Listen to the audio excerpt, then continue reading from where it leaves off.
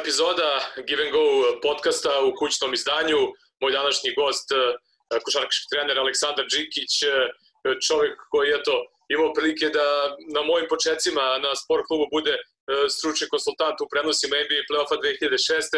Radili smo uh, one najave pred Final Four, ako se dobro sećate, bilo neka 2011-2012. Vidi, zato se nisi razvio u novinara. zato se nisi razvio novinara.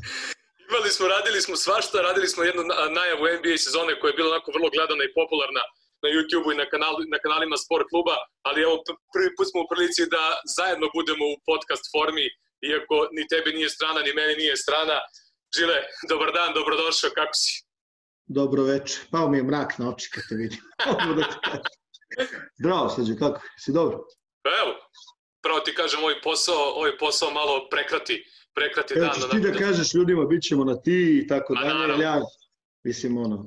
Vidi, ja ovaj, nekako... Ako neko, ako, ja mogu da najme samo, ako neko smeta naš polufamilijarni format, onda da. možda ne treba ni da gleda ovo do kraja, pošto će tako biti. Mislim. Pa upravo to, da. Mislim, i jeste negde poenta ovih podcasta da bude opuštena i moja ideja negde kad sam to počeo pre par godina, da ipak i ljudi malo budu javnosti približe na neki drugi način, a ne na osnovu onih stvari koje mogu da se vidi na konferencijama za medije i tako da, su ljudi na, praktično oko utakmice i pod stresom i sve ostalo.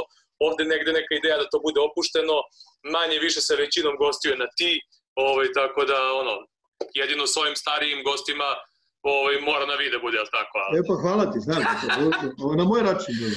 A vidi, a prošli put kad smo radili taj, eh, taj NBA, eh, tu najavu sezone, to je bila, ja setim, pre jedno 5-6 godina, I Dobro. sad, aprotiv, apropo ove priče, ti kaže kao familijarni odnos i to, nisu neki ljudi shvatili humor, kao pa šta je bilo kao što kao ponirate ovo ono, ali dobro.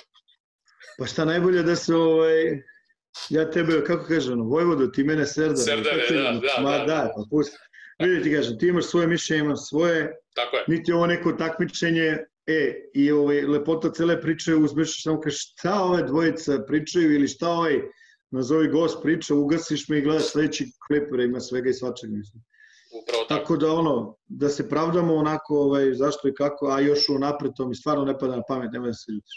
Da, kaži mi kako si, kako provodiš vreme, zaista, evo, pričao sam sa ovim gostima koji su negde tu ili moji godina ili, ili malo stariji od mene, e, već smo prošli mi svašta, ovaj, e, o, ne naravno kao naši stariji da, da smo prošli, ali prošli smo mnogo toga Ovaj, ali ovo još nismo imali prilike da prođemo kako, kako ti provodiš vreme, kako, šta radiš, kako se da. nalaziš. Pa vidi ti kažem, ja ne znam, nisam sad brojeva, ali imamo četvrto vanredno stanje, ne znam šta je. da. E, ovaj, ma šta radim, pa mislim organizuje, šta da radim sad. Znaš, ovaj, tako je, kako je, ovaj, ono, trudim se da sve što je do mene uradim da, da, ovaj, da prođem po znacima navoda što bolje kroz sve ovo, razumeš, pre svega da ostanem zdrav, da moji ovaj, ljudi oko mene, da li porodica, da li ovi ovaj, najdrži da budu zdravi, pa ovo će da se završi, on kapiram jednog dana, znaš, ovaj, ja ne znam puno nešto o tome i, i pravo da ti kažem, ovaj, posmatram to možda iz nekog drugog ugla, to je za, za neku, ovaj, što se kaže, seriozniju priču. Ali generalno, ovaj, za sada je sve u redu. Nadamo se da će koliko toliko u neku normalniju formu život da što pre. Deluje mi da su košarkaški treneri prilično aktivni tokom ove krize, gomila ovih nekih webinara, ima svašta da, da. se vidi kako, kako to ide. Pretpostavljam da, da si tu aktivan poprilično. Pa da, da, jesam, igram slučaje. Ovaj, pa da, ja sam prvo sa neki, ovaj, pravo ti kažem, neki sam ispratio, više manje aktivno, mislim, gledala sam šta, o čemu ljudi pričaju, na koji način izlažu, na nekima sam ja bio ovaj, uh, čovjek koji predaje, ovaj, neke sam, kako bih rekao, podržao ili pokušao da pomognem organizaciju. I, ovaj, znaš šta, ja kapiram, od, odavno je to ta neka priča o webinarima u redu, jeste, imaš to ograničenje što ovaj, generalno ne možeš da da uradiš tu, nazovi prezentaciju ovaj, na isti način, kao da radiš i uživo, normalno, ali ovaj, postoje drugi način da se uradiš, ja baš juče sam imao jednu jedno to ovaj predavanje za relativno ovaj zanimljiv broj uh, kolega i znaš kako, znaš, ja sam radio neku kombinaciju dijagram i tekst i, i, i, ovaj, i klipovi. Prosto kao nekakva prezentacija. Ne možeš, nisi u prilici da, da uđeš u nekakav, ovaj, poseban detalj u principu, jer nisi na terenu, ne možeš da zaustaviš, ne možeš da popraviš, ali ono kapiram naš da ima benefita i mislim da je to dobro da se radi, jer kažem ti, znaš, ja stvarno verujem, ovo prije ili kasnije mora da se zaustavi. Mislim da se zaustavi, da završi, znaš, sad ovaj, sedeti i, i, ovaj, i raditi ništa, mislim da ni to nije najpametnija stvar, iskreno. I, ovaj, a, a mislim da na tim svim, nazovi, ovaj, webinarima, mislim da ima šta da se čuje, ne pričamo o, svom, o svojim izlaganjima, već ovaj, ima stvarno, ima, ima interesantnih stvari, ima interesantnih stvari koje su ove, po znacima naroda na, na margini trenerskog posla, znaš, o organizaciji, o nekoj logistici i tako dalje, neke stvari koje su vrlo interesantne. Ovaj, to je to, imao sam ono, ovaj, bio sam u Barceloni, snimili smo ono za Euroligu, mislim da si to gledao, pričali da, o tome. Da, To, to, kad je to snimano? To je snimano sad nešto ili? Sredinom, sredinom februara, to snimano. A, pa da. O, Mauricio Gerardini, Granger, Sofo i ja sa, ovaj, i Rada je bila tu medijator, ovaj, žena iz, iz Londona koja se bavi tim nekim radom u sportu i tako dalje. Pričali smo o, o ovaj, mentalnom zdravlju u sportu i zanimljiva je priča i, yes, i zanimljiva je tema da se otvori, znaš, zanimljiva je tema da se otvori. Znaš kako, ovaj, s polja uvek sve izgleda na jedan način, međutim kad se uđe ono, ovaj, u, u celu tu priču iz nekog našeg ugla, pričam trenerskog, iz ugla igrača, iz ugla a, ljudi koji učestvuju, kako bih rekao, aktivniji u svemu tome, malo je drugačije nego što je što se kaže kad gledaš preko ekrana ili kad si uživo na tribinama. Da, znači, prosto, je, prosto je drugi ugao cele priče. Sad, kog, nekog to zanima, nekog to ne zanima, znaš, to je isto vrlo, vrlo ovaj, kako bih rekao, vrlo je diskutabilno, znaš, da li neko ošte hoće da čuje i da razmišlja toj cele priče. Znaš, naročito sad u ovoj priči, to je, to je bilo do duše pre, pre ekspanzije cele korone, znaš, i onih priča, e, slušaj, lekara plaćaš ovoliko, sportistu onoliko, znaš već koja je tu bila priča, mislim da si bio u toku i pa da, eto, da, da. nek vas onda sad oni leče i tako dalje i tako dalje, znaš, što generalno je jedan ugao gledanja na, na sport, na kulturu i na umetnost, Ovaj, ali dobro, tako je, da. tako je. Da, dosta se, dosta se ta tema otvorila i ovih prethodnih godina, no DeMar DeRozan, Kevin Love i još neki NBA igrači i, i, i čak neke WNBA igrači se su izlazili u javnost sa, sa tom pričom, tako da se dosta negde sve više i više sada ta tema mentalnog zdravlja pominje u, u javnosti, posebno kada je sport u pitanju. Pa vidi, ti kažem, ti možda okrećeš, možda okrećeš glavu na sve. Da. Znaš, možda okrećeš glavu na sve. Tačno. Sad je samo, samo je, samo je odlučiš ovaj, da, li, da li želiš da prihvatiš to, da je to u tvojoj okolini ili da se možda tebi dešava, da trebaš to da rešavaš i tako dalje, da li si dovoljno, pa mislim, ne znam da li prava reč e, jak, da priznaš samo sebi da imaš problem, da pokušavaš da ga rešiš. A znaš, bežanje od problema i tako dalje, tako dalje, ima puno ljudi koji se time bave, mislim, nema, nema tu, nema tu ošte ovaj, dilemu, to je jedna ista stvar o kojima smo pričali, znaš. Ovo smo pričali, malo smo uveli taj neki iz, iz sva tri ugla je ovaj, prosto iz, iz pozicije tih nekih um, ljudi koji vode klub. Onda su igrači pričali, ja sam pričao iz nekog tog trenerskog ugla, naravno, apsolutno ne postoji takozvani uniformisani stav o svemu tome, znaš, mislim, lično su sve te opcije ovaj lične, ali mislim da je dobro da se priča o tome. Mislim da, da, da, da nije nešto što što treba da se gurne u stranu, da se gurne na marginu. Ne treba da bude tabu ovaj, tema na kraju krajeva. Pa nema potrebe. Da. Vidi, znaš kako je, tebe kad boli zub, gde ideš? Ideš kod zubara. Tako, tako? je, tako je. Pa mislim, zašto ako imaš problema ovaj, uh, uh, psihološke prirode, ne vidim da, da, da može da bude uh, ne znam kakav problem uh, sramota ili ne znam šta već, ovaj, kao da ideš da se obratiš nekom ko je definitivno spremniji za to verziranije, ima više znanja, svojom tome da hoće ti pomoći da uzmeš da rešiš taj svoj problem. Mislim, ja to tako nekako kapiram. Ne znam da li je ispravno, ali to je prosto moje mišljenje. Da, da.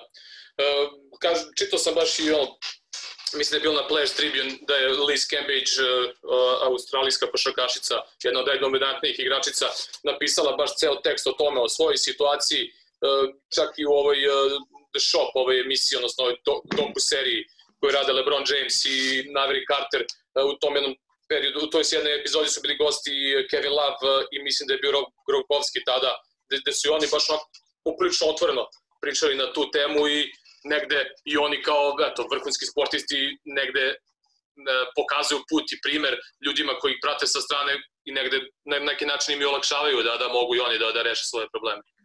Pa znaš šta, mnogo je važno da ljudi shvate da, znaš, da ta cela priča nije to sve gladac. Znaš, ono, što kaže, ovaj, spolja je, spolja je sve unutra, iznutra je, ovaj, nije, uvek, nije uvek tako. I prosto je tako, znaš. Da. E, kaži mi, ja jedno pitanje koje u stvari neki više uvod za ono sledeće pitanje. E, uvek pamtim tvoju priču ovaj, o, o Chicago Bullsima iz 90. godina i ono što ti stalno kažeš e, kao trebalo bi dići Jordanu ili nekom od, Chicago, da, da, da. Chicago Bullsa spomenik ovde kod nas jer su ajde bolje ti reci kako ti to kažeš da, da ne bi ja sad tu nešto tvoje reči prenosio. Da, pa ne, ja ne znam, da, rekao sam ja to više puta, ja stvarno mislim da Jordanu i to je celo generacije, znaš. Pre toga malo ono, se kaže kad je NBA počijala malo da se ovde prima ovaj, od pri kraju 80-ih, znaš, ono prvi prenosi, pa onda počeli su da se trguju, po znacima navoda trguju VHS-ovi, pa prvo su bili All-Starovi, pa utakmice play-off i tako dalje, tako dalje. Pa su počeli naši igrači da idu tamo da igraju, kad kažem naši s ovih prostora, da se da ne bude tu nekih zabuna ovaj, oko tih uh, termina. I uglavnom, ovaj, ja stvarno mislim, znaš, da ti, u tom periodu kad smo mi bili ono 91. 92. do 95. praktično, mislim, 95. se vratila reprezentacija, sam u pravu. Tako je, da, da. Tako, 95. ona legerna utakmica u Atini i tako dalje.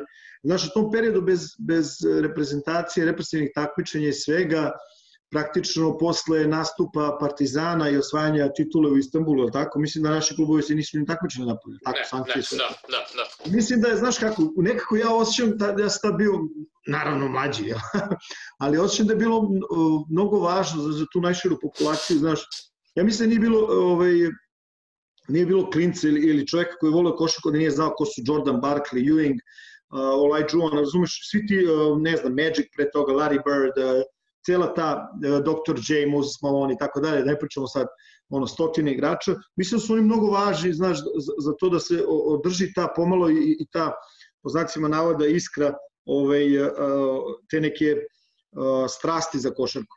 I onda, znaš, taj povratak, sam povratak reprezentativne košarke, znaš, 95. pa to finale, pa čak i ona drama u finalu po znacima, znamo svi šta se dešavalo, znaš, ovaj, u tom finalu sa, sa, ovaj, sa Litvanijom, znaš, pa taj doček, ja ne znam, ti, ti si mlađi, ali ne znam da se sećaš toga, znaš, kako ne, e, kako ne, Pe, pešačio, sam, pešačio sam ka aerodromu.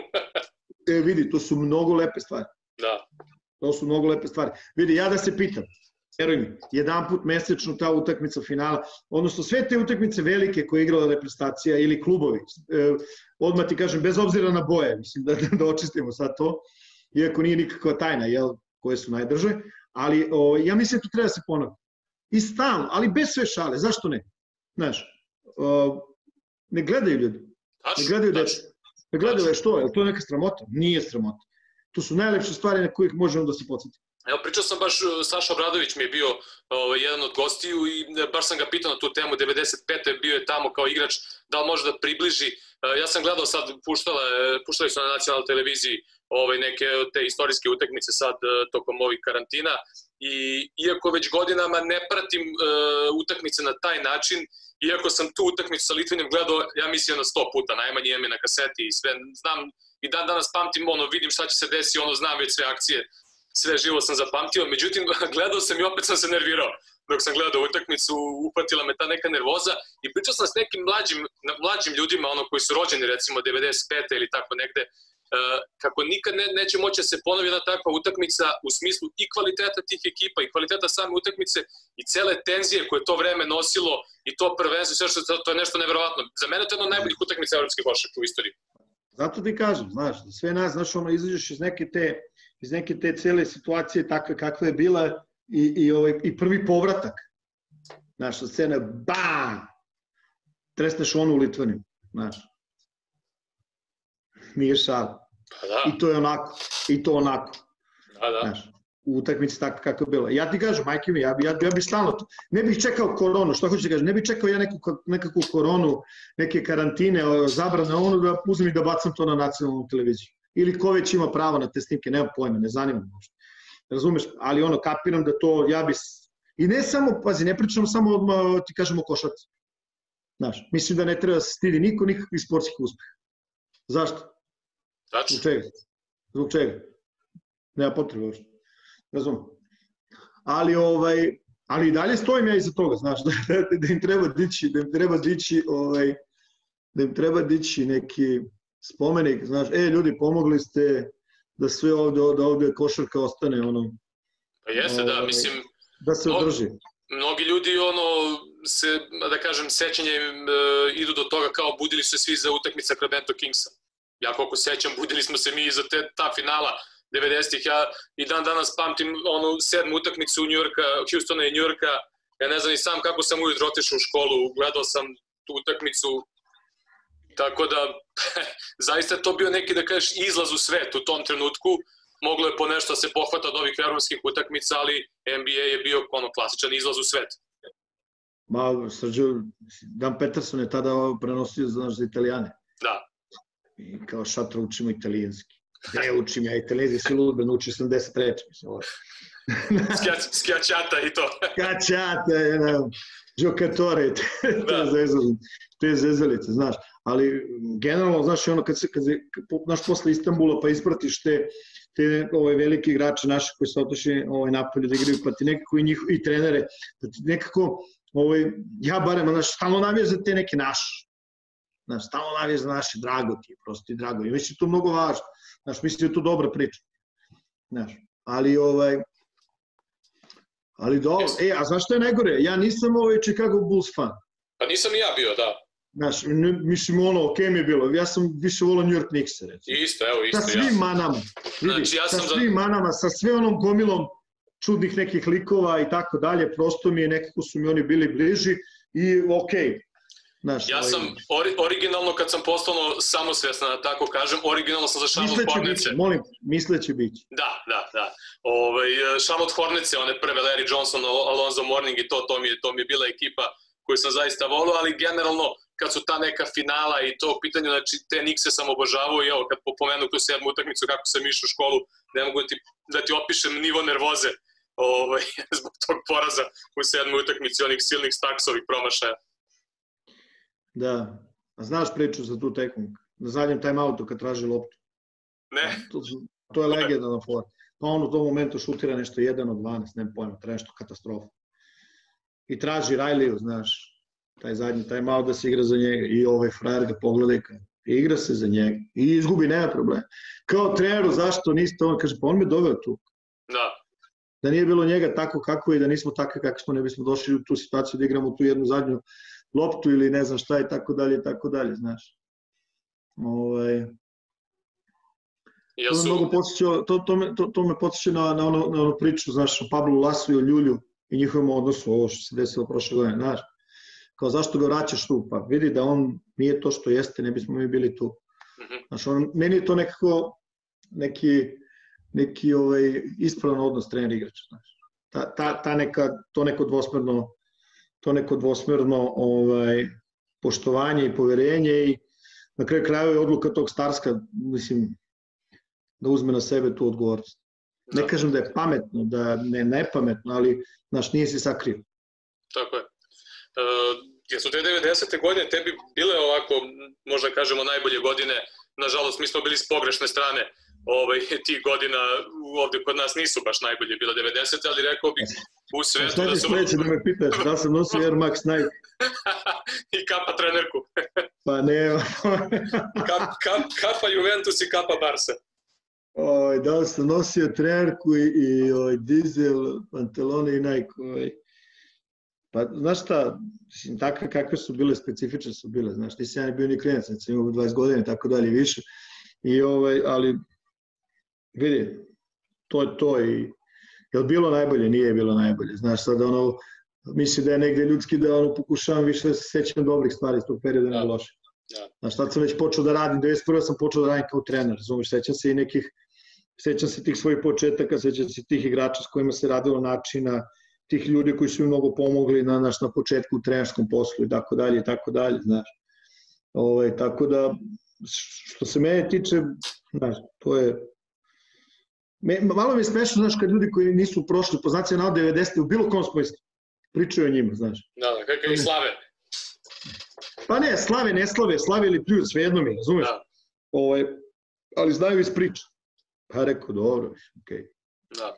Nije, nije to ni prvi ni posljednji put da neko pozajemlje tuđe priče. To je sve u redu. Tako je. Gledaš, znači to je, to je bilo prvo ono, plansko pitanje, gledaš uh, The Last Dance? Pa da ti kažem nešto, ovo što sam mogao da, ovaj, da poskidam sa neta sam pogledao, znaš. Ne puno pažljivo, ovaj, prošao sam to, imam tih prvih osam epizoda, toliko sam našao na netu. Da, da, toliko je procurilo na netu. Jeste, to imam. Ovaj, nemam 9 i 10, mislim da nisu... One još su procurile, ja mislim, ja mislim da su njih tek sad priveli kraju, e, čitao sam baš da, da su trebali neka snimanja da naprave bukvalno dan, e, dan pre nego što je NBA zatvorio e, terene, trebali su da idu da snimaju Stocktona, da snimaju još neke intervjue i da, da su morali zbog svega toga da prekinu, tako da valjda privode kraju su sad ovih dana priveli kraju snimanje. Da, da, navod, da, da, to nije navod, procurelo na net još uvek. Znam zašto, mislim da je neka, nešto sam čitao o tome, ali valjda hoće da u tome budu i reakcije na, na ovo što su do sada snimili, razumeš, pošto je onako sve je dosta onako turbulentno, naravno, ovaj, ono, Chicago navijači kao, a, Jordanovi navijači, u, znaš, sve je to u redu, imaš normalno, gledaš, pratiš, imaš reakcije ljudi iz Detroita i tako dalje, znaš, ima različitih uglova cele te priče, tako da, ovaj, ali da, gledam, gledao sam Last Dance, mislim, pogledao sam. I kakvi su ti utisci, kako ti se čini, ili ima nešto da, da, da ti onako, da te malo zairitiralo u tome ili pošto ti pratio košarku, ja sam pratio tih da. godina isto, ok, treba sagledati ceo film kad se pogleda do kraja, pa da vidimo šta je sve rečeno. Naravno, one, one naravno. prve dve epizode su malo Jerrya Krausa e, više onako naružili ne, nego što, mislim, pa, da, eto, teo sam da budem blag. Da, da. Znaš kako I, I sad ljudi koji, nisu, ljudi koji nisu bili savremenici, koji nisu to pratili, e, sad njega doživljavaju na jedan potpuno drugačiji način. To čovjek koji je napravio tu ekipu koji je sve to sakupio, ok, svakom klubu ima nekih nesuglasica, mi tu ne znamo šta je bilo, ali jednog ga okrivljavati za, za, za sve to, ne znam koliko je. Znaš kako kaže Sloven Savić, o, leki. Ovaj, ali, znaš šta, uh, ja sam... Uh, u vreme kad sam ja bio u Minnesota, naš generalni menadžer Hoću te, hoću da te pitam za, za neke od njih. Ali to e, bio je Jim Stack. Bio je Jim Stack. Mm. Jim Stack je čovjek koji je bio Krausov asistent. Asistent, da. I bio je blizu tu. Bio je tu kad se sve to događalo i tako dalje i tako dalje. Ja sam pričao s njim, ne samo ja, mislim, mi tamo koji smo bili, jel? Znaš, ono, pričaju se košarkaške priče, sigurno. Ove, a njegov ugao to sve je onako, malo, kako bih rekao, znaš, ovo je drugačiji. E sad, uh, znaš kako, postoji, očigledno, ne znam, verovatno ljudi koji gledaju, koji će gledati ovo, ovaj, koji gledaju ovo, znaš, su verovatno i gledali Last Dance tako dalje, pa ono znamo, znaš, imaš ugao, generalno Jordan i, i, i ta, nazovi njegov, njegov ovaj, ugao gledanja, onda tu negde približno, znaš, Phil Jackson, onda naravno imaš ugao vlasnika. Mislim da tu vlasnik mnogo bitan. Jeste, jeste. On je taj koji daje pare. Na pa naravno, mislim, znaš. I na kraju ovaj, Jerry Kraus koji je bio tu, nazovi neki arhitekta cele te, ovaj, cele te priče. Ali, ovaj, znaš šta, normalno da u nečemu što treba da traje, ne znam koliko, 10 epizoda, Znaš, moraš da napraviš i malo ko je dobar, ko je loš i tako dalje i tako dalje. A šta je stvarno bilo, ja nemam pojma. Mislim, ne znam, ko može da? Pa naravno. Znaju oni između su... sebe i tako. Pa znaju oni između sebe. Znaš šta je fakat? Fakat je da je bilo u vrlo malom periodu, u vrlo malom periodu, kako bih rekao, u kratkom vremenskom periodu bilo je šest titula i možda pričamo dva puta po tri. Sa istim trenerom, sa istim prvim igračem, ali tako? Znači, tako nema puno, nema pune ovaj, neke filozofije sa istim predsednikom, odnosno vlasnikom i sa istim GM-om. Da tako, njih četvorica su u svih šest titula bili, ako se ja dobro sećam. E sad je tu sad, znaš kako, ovaj, je, iz današnjeg ugla, recimo, fascinantno je da Kraus, znači kad je Phil Jackson, mislim, poslednju onu godinu potpisano 6 miliona, on je tražio mnogo više novca nego što je primao tada. I ovaj, što je primao pre toga. On je, zna, šta je zanimljivo, potpisao ga je, potpisao ga je predsednik, vlasnik kluba, ga je potpisao preko Jerry Krausa. Znači, ispakovao se čovjek, otišao za Montanu, ovaj, tamo ima te čuvene, znaš da ima svoj čuveni ranč, da, tako da. dalje, i potpisao je, jednu, jednu godinu potpisao. Pazi, potpisuješ trener koji ima pet titula na jednu godinu.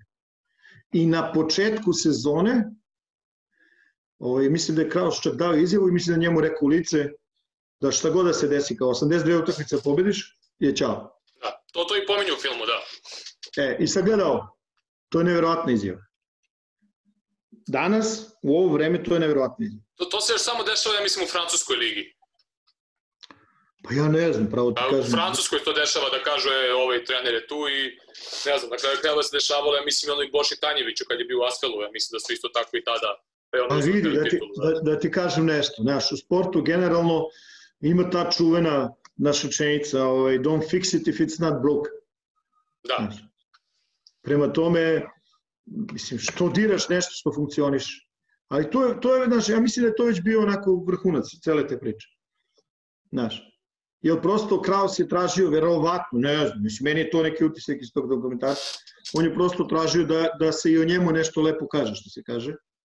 Jasno je bilo to ovaj, ko daje pare za time team, tu, tu nema dileme, mislim, u bilo kojoj varijanti, i jasno je ko su bili uh, lideri na terenu, znači Phil Jackson kao trener, Michael Jordan kao najbolji igrač, međutim nekako tu nije bilo četvrtog ugla, znači Kraus je verovatno, nemam pojma. Ovaj, uh, osetio nešto ugroženije, međutim, znaš kako, ovaj, ali on je sastavio dobar tim. Jeste. Znaš, dobar tim i ovaj, ja se sećam vrlo dobro, ovaj, ovaj Jimmy je jedan pričao o tome kako su oni uvek pokušavali da te nazove epizodni igrače, znaš. Ovaj, da nekako imaju da su u tome u čemu su među najboljim u NBA. Recimo, Bill Wennington, sećam se dobro kad mi je rekao kao best big man mid-range shooter. Sećaš se Bila Wellington? Kako ne, igrao, igrao 92. za Knor protiv Partizana. Igrao za Knor protiv da. Partizana, tako je. Igrao u Partizanu, igrao u Pioniru, u predigri, ja sam bio trener jedne od ekipa pre. Mnogo smešno. To je jedina utakmica koju smo te godine odigrali u Beogradu. Je tako? Sećaš da. to? Da, da. I, e, ove, I tako krene, znaš, priča. Pippen je u onome što radi to što jeste, Rodman je to što je, mislim da je Rodman poslednji igrač koji je pet godina za redom bio najbolji skakač. Ne, ne, nemoj vam držiš za reč, verovatno ne bi pobedio na, na nekom kvizu spoznavanja NBA, ali mislim da je, da je bio dominant, svi znamo da je bio dominantan skakač. Znaš, pa ta njegova promena od igrača, oni, ovaj, ljudi koji vole NBA, se, sećaju se de, ovaj, njega iz Detroita, iz godina u Detroitu i njegove uloge tamo i onoga što imao posle uloge koje imao u u, ovaj, u Chicago. I tako dalje po igraču, po igraču. Znaš, očigledno su oni bili, kako bih rekao, dobro skopljeni. I znaš kako, mislim, normalno da imaš da najbolji igrač na, na planeti u tom momentu bude u šampionskom timu. I to je to, znaš. I, i nema tu neke puno, neke puno filozofije. Recimo, a, pitao si me šta mislim. Znaš, prvi utisak mi je bio fascinantan da je, da je neko čekao 22 godine da počne se baviti tim materijalem ponovno ako sam ja dobro shvatio, oni su snimali uh, zadnju, zadnju sezonu, je li tako beš? 97, 98 su snimali, to je ta sezona gde su imali All Access, je li tako bilo? Da, da, da. E, meni je fascinantno da čekaš preko 20 godina da, da bi napravio dokumentarac od tog materijala. To mi je neverovatno. Znaš, to mi je nevjerovatno. Ali eto, namestilo se nekako sad da celo ovoj situaciji... Nemoj da mi otvaraš da. teorije zavere. ne, ne, ali namestilo im se da sad to bude još gledanije, ali ovo trebalo da se emituje, kako se dobro sećam, po završetku finala.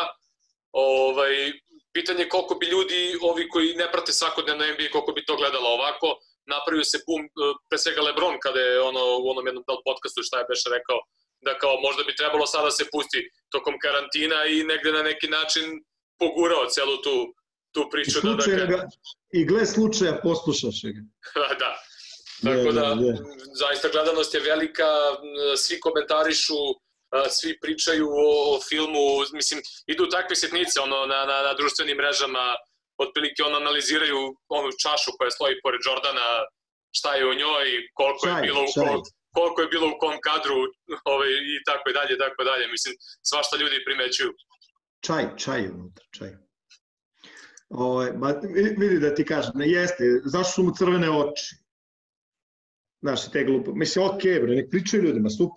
Ali mislim da je vredno i mislim da je dobra stvar da se priča o tome. Kako ne? Znaš, jer je velika stvar i takav, kako bih ti rekao, ta vrsta dominacije koju su oni imali, znači koliko je to, šest titula u osam godine, sam, sam dobro da, to da, izgleda. da, da, da, da, samo one dve Houston što je uzimao, jedna je Jordan dok je bio u penziji, ova druga kad se vratio pred kraj pa ih je Orlando izbacio, tako da... A, mislim da nema u, ova, u ovim profesionalnim sportovima, mislim da nema takve vrste dominacije u nijednom sportu. Da. Je li tako? Pa, eto šta, u, u toliko godina, toliko puta, koliko ja znam, ne, nisam sad neki preveliki ovaj, Pa ja, fanatik ono NFL, nešto- ali šta, Ne, ne, nije. Patriotsi nisu tako- Ne, za, da, ne, ne, za, u, za, u NFL-u nije sigurno, da, da, bejsbol ne pratim, tako ne mogu kažem hokej, ali mislim da nije bilo takve dominacije i znaš, mislim da je dobro da se zna nešto o tome. Na kraju krajeva, znaš, gledanost, popularnost serije priča o tome i očigledno da, da su pogodili, znaš, da ljude to zanima. da. Prosto ih zanima.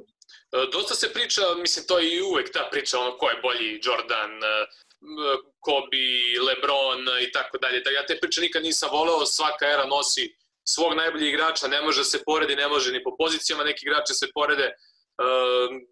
Kako ti gledaš na te priče uopšte i uopšte ta potreba da kad porede neka dva vrhunska igrača da sad kažu, e, ali ovaj je kao, ne znam, on nije ovo mogao, mislim, svako vreme nosi svoje, sad, ne znam, baš Jerry West ne bi radio nešto da je mogo da radi po pravilima ili obrnuto, mislim, Vidite, ja verujem da bi se ti veliki igrači u svakoj eri snašli.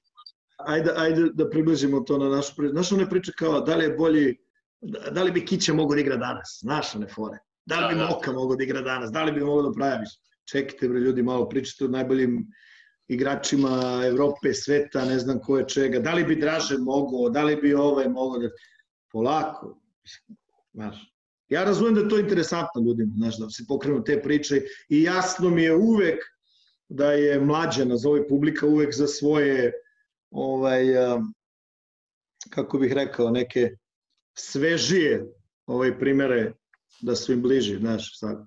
Šta sam treba pričati, da li je bolje Jordan ili Kobe, da li je bolje, ova- ne, ne Mislim, koga briga uopšte, mislim, vrhunski su igrači, mi ono sad, da li je Pa neko ne. bolji, šta, šta to nekom, me- mislim, šta meni znači u životu, da li je bolji Jordan ili, ne znam, Lebron. Pa ne znam da ti Dva, kažem. dva majstora, dva vrhunska igrača, uživaš u igri, si u igri jednog, uživaš u igri drugog sada i to je to. Jedino što mi malo ma- nekad smeta da je Karim malo zapostavljen u svim tim, u svim tim konverzacijama i pričama. Ima dobar, ima dobar jedan klip, ovaj, ne znam da se gleda to kada, kada ovaj, izlazi Bill Russell, znaš. Pa ona cela neka, neka onako, njih pet se poređalo, nemam pojma, sve na legende, a on ih broje ovako, kaže, kaže, razvalio bi vas u petoricu. Znaš, ali, i, ovaj, ali, ali generalno, ok, to su mediji. Pa ti znaš, pa Jeste. ti si čovjek iz Da. medija, znaš. Pa eto, To su, to su, ovaj, to su, kako bi ti rekao, normalne stvari, znaš. Ko je bolji, Ronaldo, Messi, da li je bolji prvi Ronaldo ili drugi Ronaldo ili osmi Ronaldo, nemam pojma, sve ja lupetam. Ovaj, da li je bolje ovaj, da li je bolje, da li bi ovaj mogao da igra iz onog vremena ovo vreme, pa onda ovi kažu tad se nije igrala odbrana, onda ovi kažu jeste, ovi danas ne znaju ništa, samo znaju da trče. I tako, možda, pa super sve, ajde. Sve to, sve to, sve to deo košarke, znaš, meni je, meni je ovaj, ja, ja volim ono čime se bavim, razumeš, volim košarku, da nisam trener 30 godina, ja, ja bi, znaš, ono, voleo bi košarku svakako. Tako da, znaš, meni je to ta priča, ja to gledam malo neko, nekog drugog ugla i a s druge strane, znaš, dobro je da se priča. Bolje nego da, da se ne priča ništa o tome, znaš. Jer, Ali- ovaj, kako bih ti rekao? Znaš, treba tim, e, činjenica da se, da se, da se, da se sve to menja sa, sa ovaj, dolaskom ovih socijalnih medija i tako dalje tako dalje. Ja mislim da svaki sport treba da se bori znaš, za novog, po znacima navoda, novog navijača, da. novog zaljubljenika. Znaš, ne možeš samo da čekaš i da očekuješ da se neko zaljubi u košarku ili futbol ili bilo koji drugi sport ili bilo šta drugo, vrstu muzike i tako dalje tako dalje. Mislim da je potrebno da se fajtaš za te ljude ovaj, da im prezentuješ to što će možda da im se svidi. Da je tebe privuklo ovaj, da, da zavoliš košarku? Ili, ili koji igrač? Prati, kažem, mnogo me sad bacaš u nazad, znaš, prosto nekako, ovaj, ne znam, ne znam šta bi ti rekao, znaš, ono išao sam, gledao sam te utakmice još u hali sportova i meni to bilo, kako bih ti rekao, prosto sam volao, to uvek sam volao više košarku nego bilo koji drugi sport. Uključujući, ne znam, i futbol i tako dalje. Prosto mi je to, tu mi je, tu mi je sve onako što, što me privlači, znaš. Tako da, znaš, dinamično je, kompetitivno je, nije sporo, to je to. Uh, pomenuo si da si 91. počeo već da, da radiš ovaj, da. kao, kao trener. Ajde malo tim tvojim početcima, ti si radio i, i u Partizanu u mlađim kategorijama i u Beovuku, da. E, dva, ajde, Partizan i na ovom višem i na seniorskom nivou, e, veliki klub Beovuk izuzetno poznat kao uh, dobra škola košake, tako kažemo, klub koji je imao sjajne mlađe kategorije. Baš sam pominjao to isto u jednoj epizodi, ovaj, pominjao sam baš nekako uvek je Beovuk imao vrlo školovane, školovane igrače, ti si trenirao brojne generacije tamo, možeš malo o tom periodu? Pa dobro, ja sam počeo 91. kao pomoć trener kod Dragana Dragosavca, znaš, mm -hmm. i ne znam da li ljudi znaju za njega, ne znaju za njega, mislim, to je za mene je vrlo važan čovjek u, u, u tom nekom mom periodu formiranja radnih navika, planiranja treninga, učenja oko košarke i tako dalje i tako dalje i, i ono Dragosavac je tu stvarno izvanredan, posle toga sam radio a, sa Perom Rodićem, sa, sa Nešom Trajkovićem i tako dalje. Posle toga 94. odlazim naš iz, iz mlađih tih kategorija, prelazim u seniorski, seniorski ovaj, pogon Beovuka kao pomoćnik Miša Lakića. To je bila ona to je bila čuvena ona NBA sezona u našoj Juba ligi 32 tima, je, 32 tako. 32 tima, jes. I Beo, Beo Vuk, Beo Vuk, mladost i tako neki on Jugotnes yes. TNN, Fagar Kosovo, yes. Polje, svi su igrali tada prvu ligu. Dobro, Srđo, proći ćemo, naći ćemo se, porazgovarat ćemo i ovo. Nema problema, redu je to. Ne, ne, redu, redu.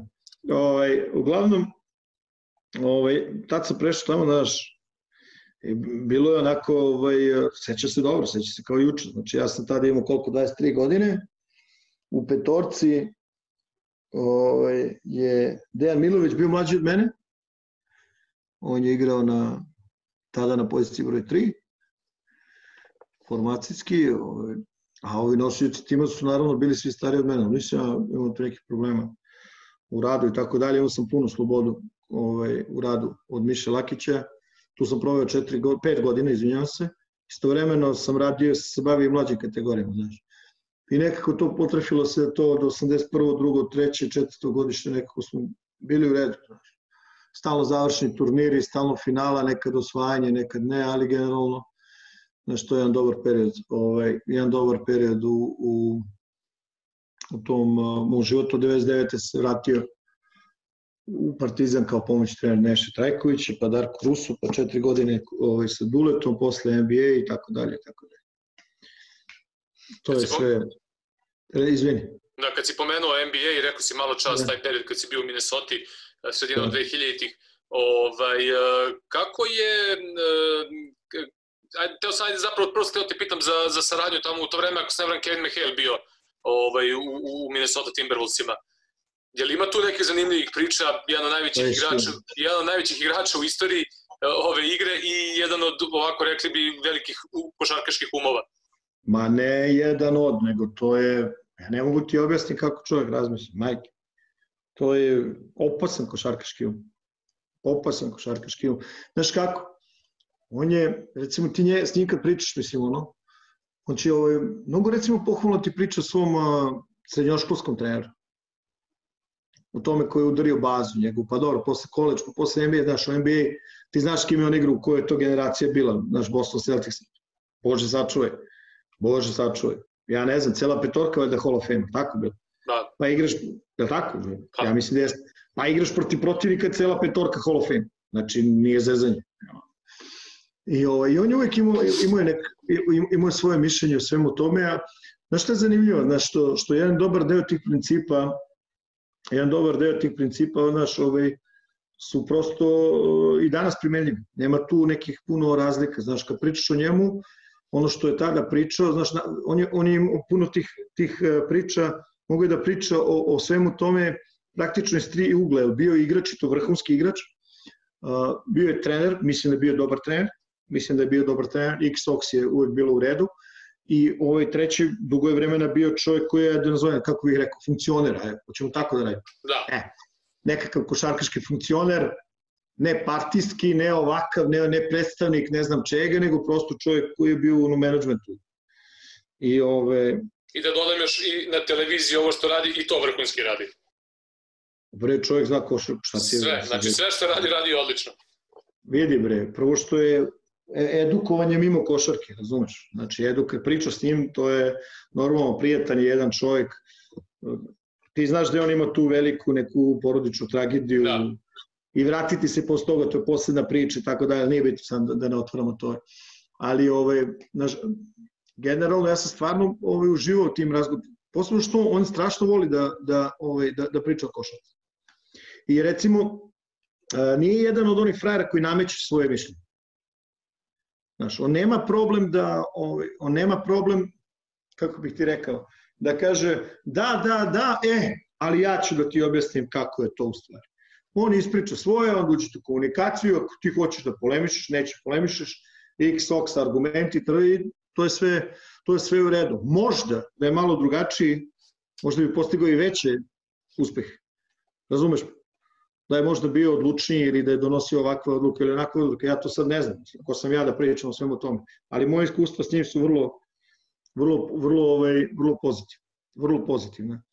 Ovaj, jest, ti, i, pre, i pre nas, naš Minnesota je bila tu, kako bih rekao, blizu tih nekako, ali u tom vremenu naš bilo je, bilo je stvarno i, i drugih, što se kaže, dobrih timova, ne znam, Lakers i San Antonio, Sacramento bio odličan, znaš, stvarno bilo, kako bih rekao, u tom nekom periodu, ne znam da znaš, 99. na vamo, 14 titula je otišao na zapad.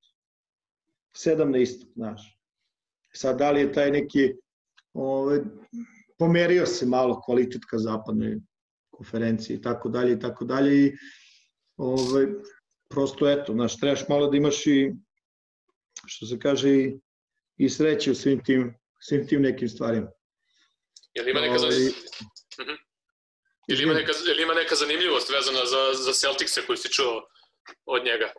Pa vidi, ima ih, ima ih koliko hoćeš, razumeš, ono, uzme i, znaš, ti, ti priča o, o Larry Birdu, znaš, sad kad uzmeš pa gledaš kada drugi pričaju, onda ti ispriča neka iz njegove slučajnice, znaš, ono, ljudi ne preteruju, znaš. Znaš što čovjeno priča kada je došao do Beograda, pa ja mislim bio na Partizanu utakmici kad su mu dali onaj dres i tako dalje, i tako dalje. Kad prosto nije znao kako se ponaša. Ovaj, ali, kako bih ti rekao, mnogo veliki igrači, znaš neukalupljivi i tako dalje. Mislim, to je, to je A što, što, što kažeš nije znao kako se ponaša, nešto ti pominja na tu temu? Ne, ne, ne, ne, bio je, bio je super iznenađen, ne znam, da. verovatno, verovatno će neko da se pristiti toga, ovaj, u znak zahvalnosti, mislim da mu je dat neki dres -huh. i mhm. tako dalje, prosto čovjek nije očekivao nekako bio je, kako bih ti rekao, znaš, bio je norm, običan, priroda, normalan čovjek, znaš, pričam ti je za ono što kaže čovjek iz naroda. I, ovaj, I što mene generalno ne, ne, ne, ne iznenađuje, znaš, mislim, tako da. je McHale isto I ovaj, šta je zanimljivo, ima, ima vrlo ima vrlo dobro smisla za humor, znaš. To je meni, meni to recimo mnogo važno, da, da ljudi s kojima radim ovaj, ovaj, imaju smisla za humor. Znaš, da mogu da prime i da daju šal. To mi je dosta važno.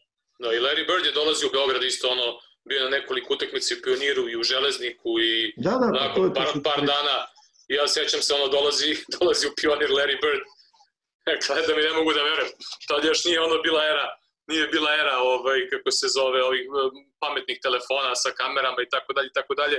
I znam da sam nekog zamolio da me slika sa njim i pošalje sliku, ali tu sliku nikad nisam dobio. A ja baš, ja, redko, kad, redko kad nekom tražim da se slikam, ali ono, baš Larry, Larry Legend je morao, ali eto, nisam dočekao sliku. Pa ne, ja znam tu neke priče o Ace, Ace ovaj, drugar je, on je isti scout timova za koje je Bird radio, znaš, sve najbolje u tom čovjeku. Normalan, down to earth, znaš šta hoće, znaš šta neće, to je to, znaš. Nema tu neke folirancije, neke velike. To je meni u redu. Znaš, to je meni. Ja sam, sretao sam stvarno ogroman broj nekakvih drugačijih ljudi, znaš, ono, political correctness i ostale priče. Znaš, ali dobro. Kako, kako su se, recimo, to konkretno kada on u pitanju, uh, Celticsi su bili onako baš fajterska ekipa, uh, koliko se to pre, prenosi na neke stvari van terena? Posebno ovim nekim vremenima kad se sve to malo i promenilo, nije, nije više to tako kao što je nekad bilo. Jel su imali oni problema? Ja, sećam, ja se sećam iz, iz, iz, ovaj, iz tih nekih priča sa Mehelom. Znaš, ja par puta sam mu rekao, znaš, ovaj, mnogo je teško njemu da ne razmišlja iz svoje glave. Znaš, sad to smešno zvuči kad se čuje, jer njegova glava je glava vrhunskog igrača. Znaš, i onda on prosto ne može da shvati, a i kad shvati teško mu je da prihvati da neko nešto ne može. Ili da, da se nešto za nekog igrača ne podrazumeva, znaš. Doduše, ja stvarno nisam puno puta čuo da je rekao, e, u moje vreme, znaš, ali ima i takvih priča, znaš, pa mi kad smo bili, Ja kažem, čekaj, bre, čoveč, pa vidi s kim si igra. Znam to vrlo dobro, znam mnogo bolje od mene, ne treba njemu to niko da objašnja, njemu ni bilo kojim tim igračima. A to je strahovita količina kvaliteta na malom, na malom prostoru. Znaš, to, je, to su standard. Razumeš? I sad je njima da. mnogo teško da se oni naviknu na nekakvu drugu priču. Ja verujem da svakom vrhunskom igraču koji počne posle da se bavi nečim drugim, ovaj, verovatno teško da shvati da ono što je za njega prosto se podrazumeva za nekog je neka vrhunska košarka. Prosto ne znam, da li ti imaš takve iskustva s ovim ljudima s kojima se pričao, evo ako se setiš, to je dosta zanimljivo pitanje, pitaš svakog, svakog od tih velikih igrača. Pa da, pa mislim, dosta nekih uh, priča bilo na temu recimo Lebrona. Za Lebrona, za koga kažu da bukvalno ono zna, aj što zna svoje kretnje i kretnje svojih saigrača, nego zna i protivničke kretnje, pa su pričali ovi neki igrači da otprilike neko proziva akciju, Lebron igra odbranu prozivaju akciju i ovaj krene nešto, Lebron mu kaže ne ideš na tu stranu nego novu. I sad ne znam, ne mogu sad koji igrač je to pričao, ali kao u fazonu kao čekaj, mi on sad to ulazi u glavu, zeza me kao i kaže mi da treba da idem tamo i na kraju ono stane mi razmislim čoveče kaže on zna moju kretnju, kaže kompletno. I onda da. apropo te cele priče i Jordan je čak pred uh, izbacivanje ovog filma rekao kao možda će me ovi mlađi generacija doživjeti na neki drugi način ali kao ja sam morao neki igrača testiram da vidim koje su im granice, morao sam da im se popnem na leđa, da, da, da, da ih pritisnem, ovaj, da im napravim neku vrstu pritiska, tako da mislim da to, to je to, kad imaš nekog ko je ono najbolji, mor, moraju ostali da ga prati. Pa dobro, ti si isto čuo hiljadu priča za, za Kobe Bryant, čuo si hiljadu priča za Jordana, mislim. Prosto, kako bih ti rekao, takvi su kakvi su, razumeš, da su obični, ne bi bili šampioni. Tačno kad si šampion, ne možeš da radiš obične stvari. Je tako? Tako je. Kraj pri, pa kraj priče. Kraj priče, znaš, šta je Lebron, mislim, sad su to već legende, znaš, kako se starao o sebi, kako, ovaj, koliko trenera, zašto trenera, kako, šta, tratament. Ja znam, ja znam, to sam čitao, čitao sam ovaj članak o, mislim da taj čovjek sada u Dallasu, asistent, ovaj, koji je godinama radio privatni scouting za Kobije. A, da, da, da, da, da ja, kako se zove, ja, on je ono development guy. Uh, Radio i za Boston isto, uh, sad sam yes. ja za, da. Ove, I onda pred svaku utakmicu zove ga šta ovo, šta ono, čuje ovoga ovako, ono, ovoga onako, trte mrte, znaš, neki kao privatni scouting direktni protivnik. Ja sam isto čuo te priče za Lebrona, da, da zna kretnje, osnovne kretnje, da zna navike igrača i jel tako beše, dalje. Jel beše, izvini, jel beše Ed Palubinski, jel tako, be, jel on beše? Da, moguće da je tako. Ili, ili to bio Šekov tren, trener za, za šut? On ne. to je bio Šekov, Šekov za šut je bio, da. Ja, e, ali nekako tako ima je. Ovaj. A, ja znao Garneti, znao bre sve protivnike. Znao sve navike. Znaš, što deo ne, mog posla je bio tamo da ne znam, predu teknicu po igračima u kratkim crtama ih podsjetiš na navike, protivnike, trte, mrte, trte, mrte. Što ja sam smijem, rekao, šta je njemu pričano zato bolje od mene?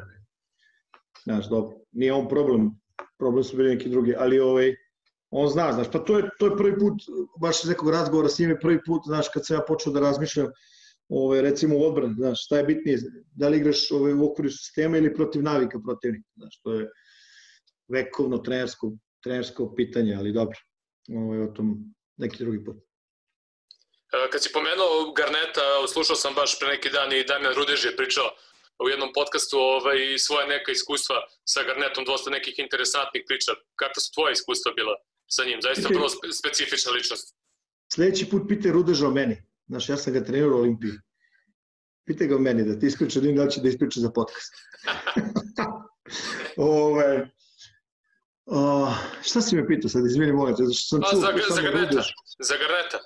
Ma ja ne znam, ja sam sto puta to rekao, nisam ja sad, nik, mislim, ja nisam imao problem nikakav sa njim, mislim, na kraju krajeva ko sam ovaj, bio pa ja da, da se on bavio ošto sa mnom, znaš, ono, jedan od ljudi u stručnom štabu i tako dalje, naš no name, i, ali napravili smo neku normalnu priču i, i ja, ja nisam imao, kako bih ti rekao, nikakvih problema s njim, on je bio jedan a, igrač koji je onako mnogo volao da pobedi, bio je svestan svojih a, svojih kvaliteta, bio svestan svojih mana, imao je strahove koji svi mi, to je to, znaš, ovaj, na kraju našo je sredinu gde nije bio go to guy, znaš, otišao u Boston i uzeli su, uzeli su titulu, razumeš, ali taj tim je isto, ono, bože sačuvaj, a sećaš se sve ko je igrao i kako je igrao, i, ovaj, i onda su naši neki drugi kvaliteti njegovi izašli još više do, do, ovaj, do izražaja.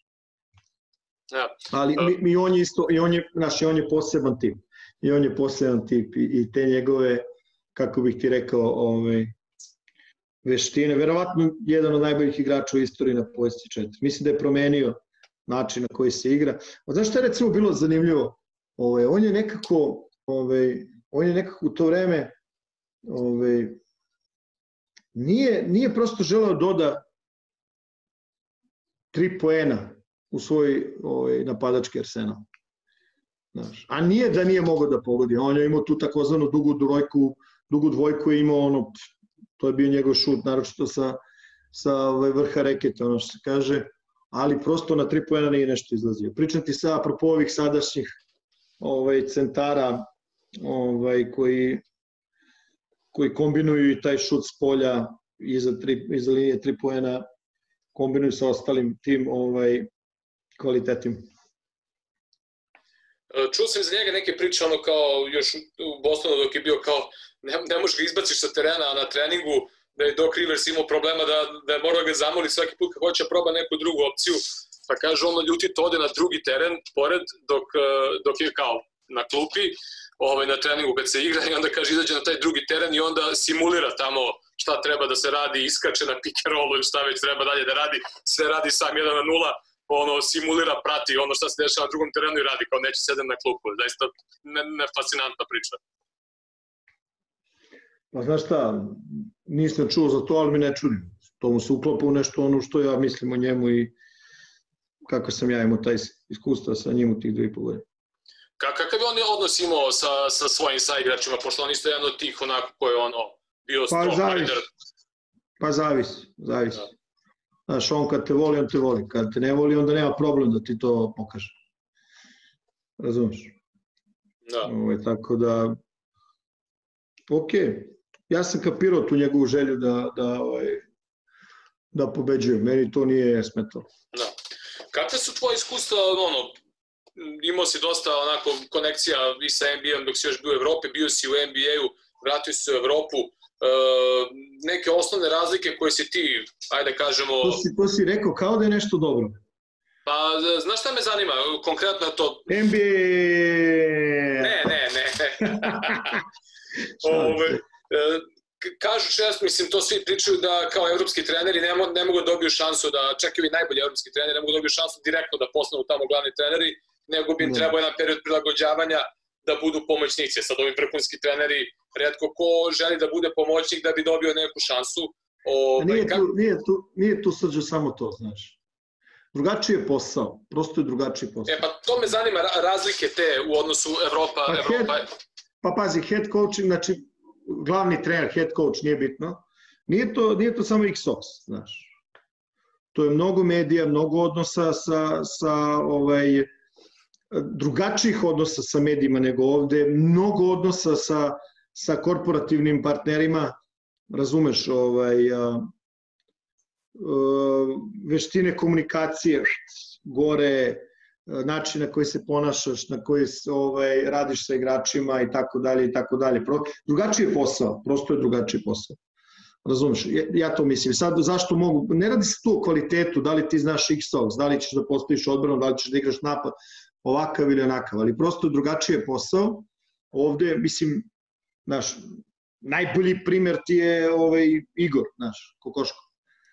Ove, on verovatno ovo može bolje ti ispriča od bilo koga drugog. Jer e, definitivno je napravio nešto u evropskoj košarci, ovaj, a mislim da je vrlo uspešan u NBA košarci. Znaš, ili, ili primer Skariola ili tako dalje ili tako dalje. Znaš. Ovaj, El Messina se vratio, pa je uspešan, razumeš, uspostavljao novi sistem, e, čak je došao i, i ovaj, mislim da je to onako treba zapamtiti ovu, ovu prošlu sezonu iz prostog razloga, jer je trener postoji i takozvani predsednik košarkaških operacija, razumeš? Znači oni figurativno imaju čoveka koji je generalni menadžer ili ti u našem rečeku sportski direktor i tako dalje i tako dalje, ali ako sam ja dobro razumeo podelu posla, mislim da Mesina je čovek koji donosi odluke. Vezano za roster, vezano za sve što je vezano za košarku. To je možda sledeći korak, znaš. To je možda sledeći korak a, ovaj, a što nije redkost uh, u NBA. Da. Razumeš, da, prosto do, da prosto dođeš do, do tog nivoa ovaj, moći i odgovornosti u, u isto vreme, razumeš?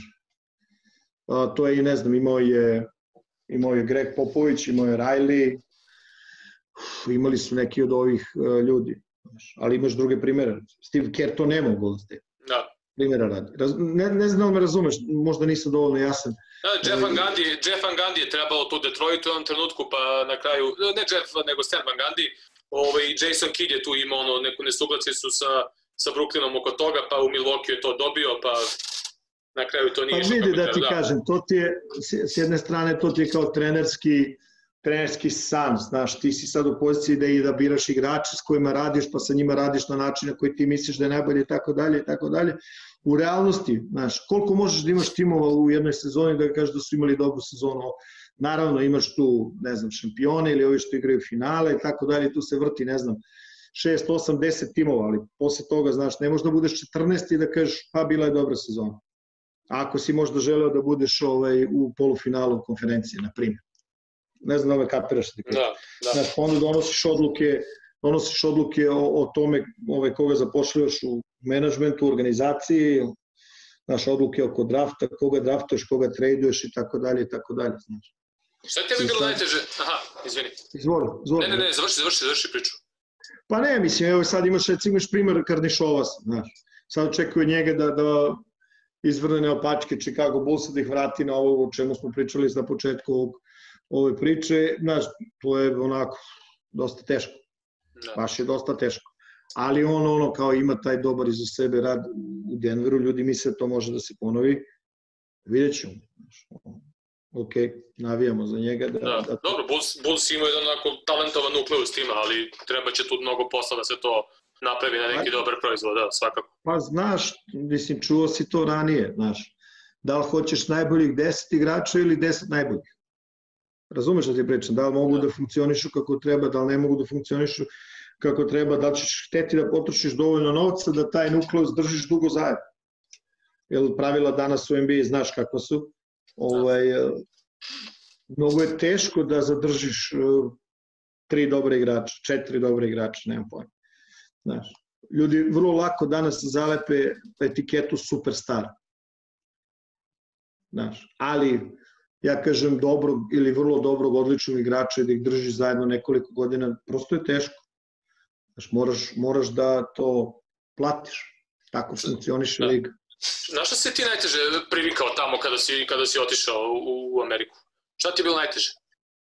Pa ne znam sad ti kažem znaš, šta mi je bilo najteže, šta mi je bilo najlakše. Ja sam otišao, probao sam da odim potpuno onako ono, širokih, ove, otvorenih, otvorenog uma i meni je to bilo u redu. Znaš, ja sam ja sam mnogo sretan što sam dobio tu nekakvu priliku da, da budem tamo, znaš, i imam, imam mnogo i, i dobrih i loših stvari vezano za svoj boravak ovaj, taj u Americi. Da li sam mogu to još bolje da iskoristim? Ne znam, možda jesam, mogu sam još i gore.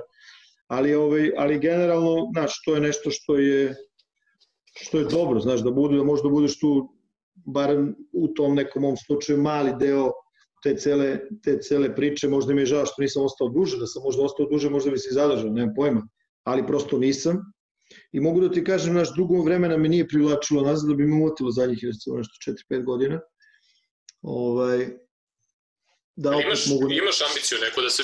Bio si ono na pa letnjoj ligi pre 2-3 leta. Pa sad ću da ti kažem, znači, zadnje 3-4 godine idem svaku letnju ligu sam više, znači prvo s Toronto, pa sad sa Detroitom. Ove, I kažem ti, tad sam i počeo ponovo da razmišljam da možda kao vratiš se, ne vratiš se, ali znaš šta, i posao je tamo, ovaj, tog pomoći trenera su drugačije, sve zavisi na šta se očekuje od tebe, kako je, kakav prostor možeš da dobiješ u, u stručnom štabu, šta se očekuje od tebe, da budeš ovo ili ono, i tako dalje, i tako dalje, znaš, ovaj, Tako da, to je, to je recimo da se vratim na tvoju priču, ono, naš priča sa evropskim trenerima. Znaš, ili ti sad recimo pozicije sa nekog eh, trenera koji je bio u Euroligi, Eurokupu i tako dalje, da odeš tamo da budeš, da budeš jedan od, nije za svaki personalit, prosto nije, nije svako čovjek. E, onda tu malo ima i razlike u primanjima, u novcu između Evrope i Amerike i tako dalje, tako dalje, tako dalje. Znaš, kao što taj posao tamo nije za svakog, tako verovatno nije ni svaki trener američki koji bi došao u Evropu, znaš, nema garancije da bi se snašao. Razumeš? Da. Uh, kad uporediš malo, uh, ti si dugo, ajde da kažeš, ono, i kao pomoćni trener sve vremena u Partizanu, si bio u Euroligi, uh, vodio si ekipu budućnosti u Euroligi, ono jedno vreme si bio i sa, sa Ritasom, ovaj, Olimpija. Olimpija, da. Uh, možda uporediš koliko se košarka u Evropi promenila ne samo Evrope, ali generalno konkretno me zanima Euroliga. E, kad recimo vratim film na neku 2012. ne treba dalje da idem, e, i ono što, recimo kad se ja radio prenose i ovo sad, čini mi se da se mnogo, mnogo promenilo. Kako ti gledaš na to? Pa mislim drugačije. Pa evo recimo taj primer uh, Mesin CSKA, na primer, tamo kraj 2000-ih kad je ono bilo na, na, na to, to rekordno mali broj posljed da se igralo, na primer. Sada je već to malo drugačije, malo se igra nekom bržem ritmu, E, mislim da se malo i više šutira. Kako tebi deluje? Je to neka zabluda ovako sa strane ili, ili se stvarno toliko promenila igra? Nekako delo su bile sporije utakmice ranije. Da. Pa dobro, ja verujem da je, da je malo, da, da se malo otvorila ta cela priča ovaj, pod uticajem te pompe koje se napravilo oko tajih šuta za tri poena i tako dalje i tako dalje, znaš. I jeste, sigurno se to oseti ovaj, u, u, ovaj, u načinu igre.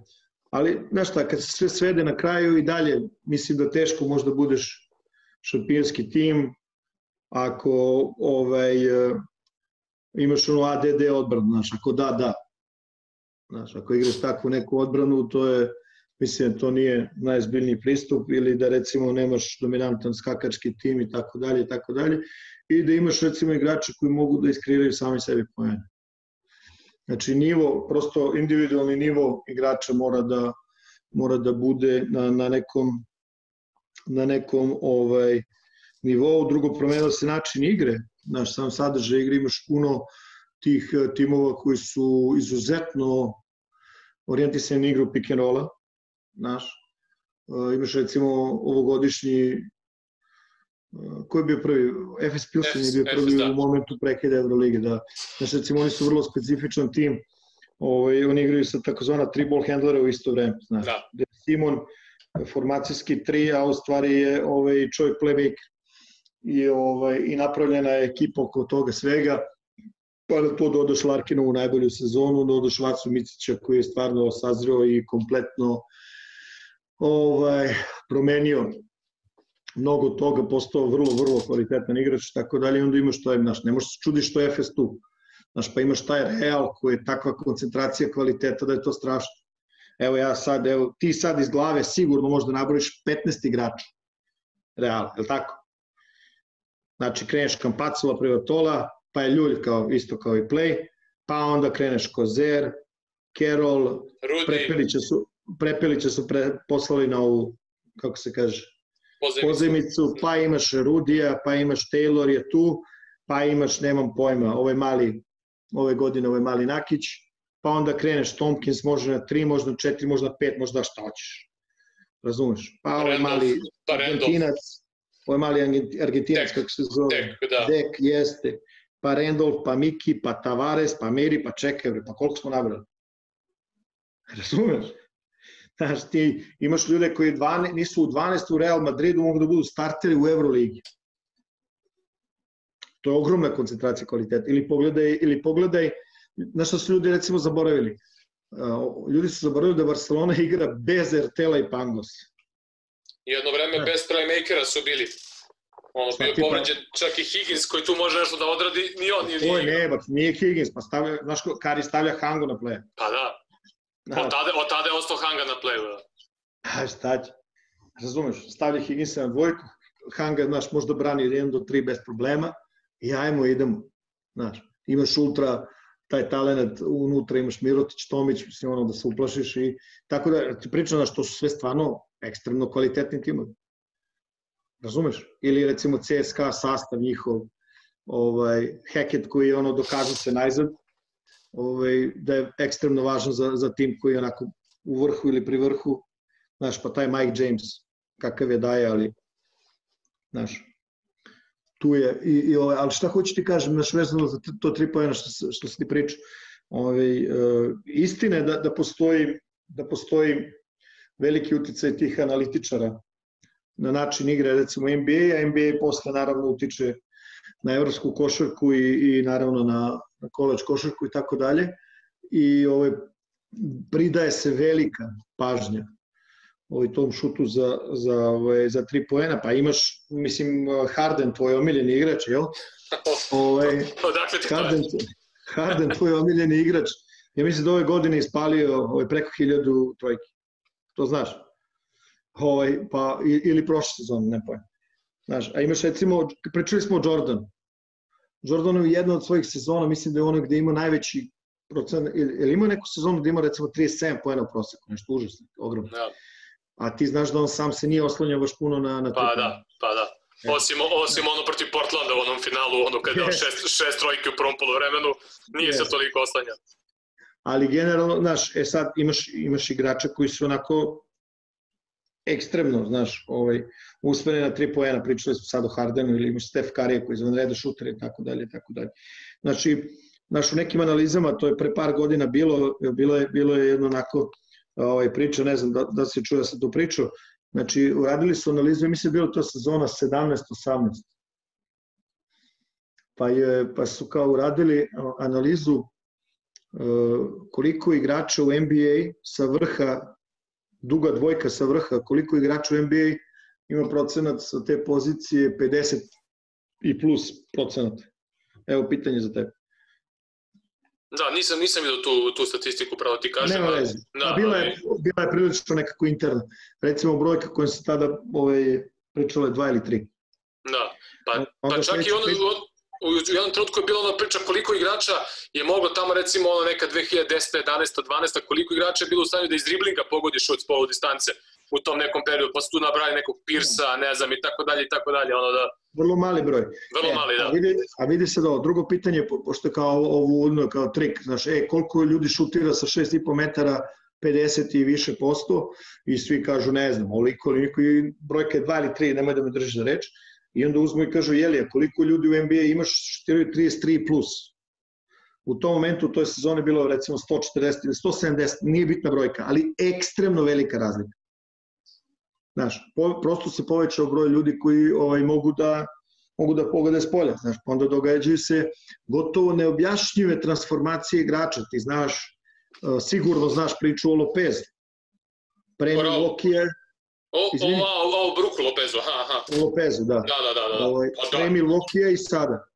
Ne znam da znaš te čak brojke. I, čak, da... čak, i poslednja, čak i poslednja sezona u Brooklynu je šutno više trojke nego za celu karijeru. U toj jednoj sezoni šutno značajno više nego za, za celu karijeru. E, i onda znaš tu priču, kad je došao u Milwaukee, pa prva Milwaukee je malte ne više nego koliko je sabrao u celom životu. Znaš, I onda, onda dođeš onako u, znaš, nije čudo što su u, ovaj, napravi, što je Milwaukee ovih zadnjih godina tu gde je, znaš, imaš, imaš ovaj, onaj čovjek čudovište, ovaj, Ared Kumpo, i okružio si ga, razumeš, šuterima na traži tu ekipu, gde mnogo toga otvara, otvara ovaj, petica koja može da šutira.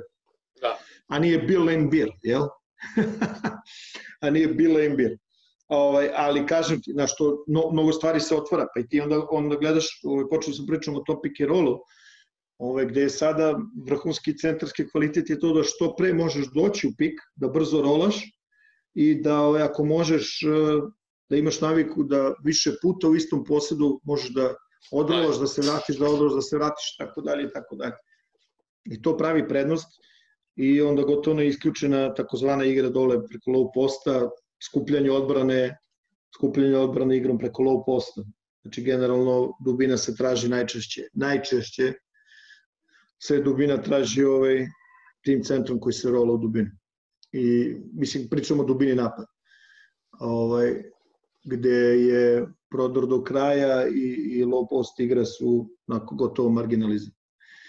I onda dođeš recimo u, to je velika količina pick and rolla je dovela do evolucije odbrane, čega si ti isto svestan, a to je da, da se sada na, stvarno su na ovoj ceni visoki igrači koji mogu da ili da menjaju ili da menjaju šut u završnici, u reketu, kao što su Tavares, uh, ovaj, kao što je Tavares, na primjer, ili tako dalje, ili igrači koji mogu da, centri koji mogu da pre, preuzimaju, da, pick and roll.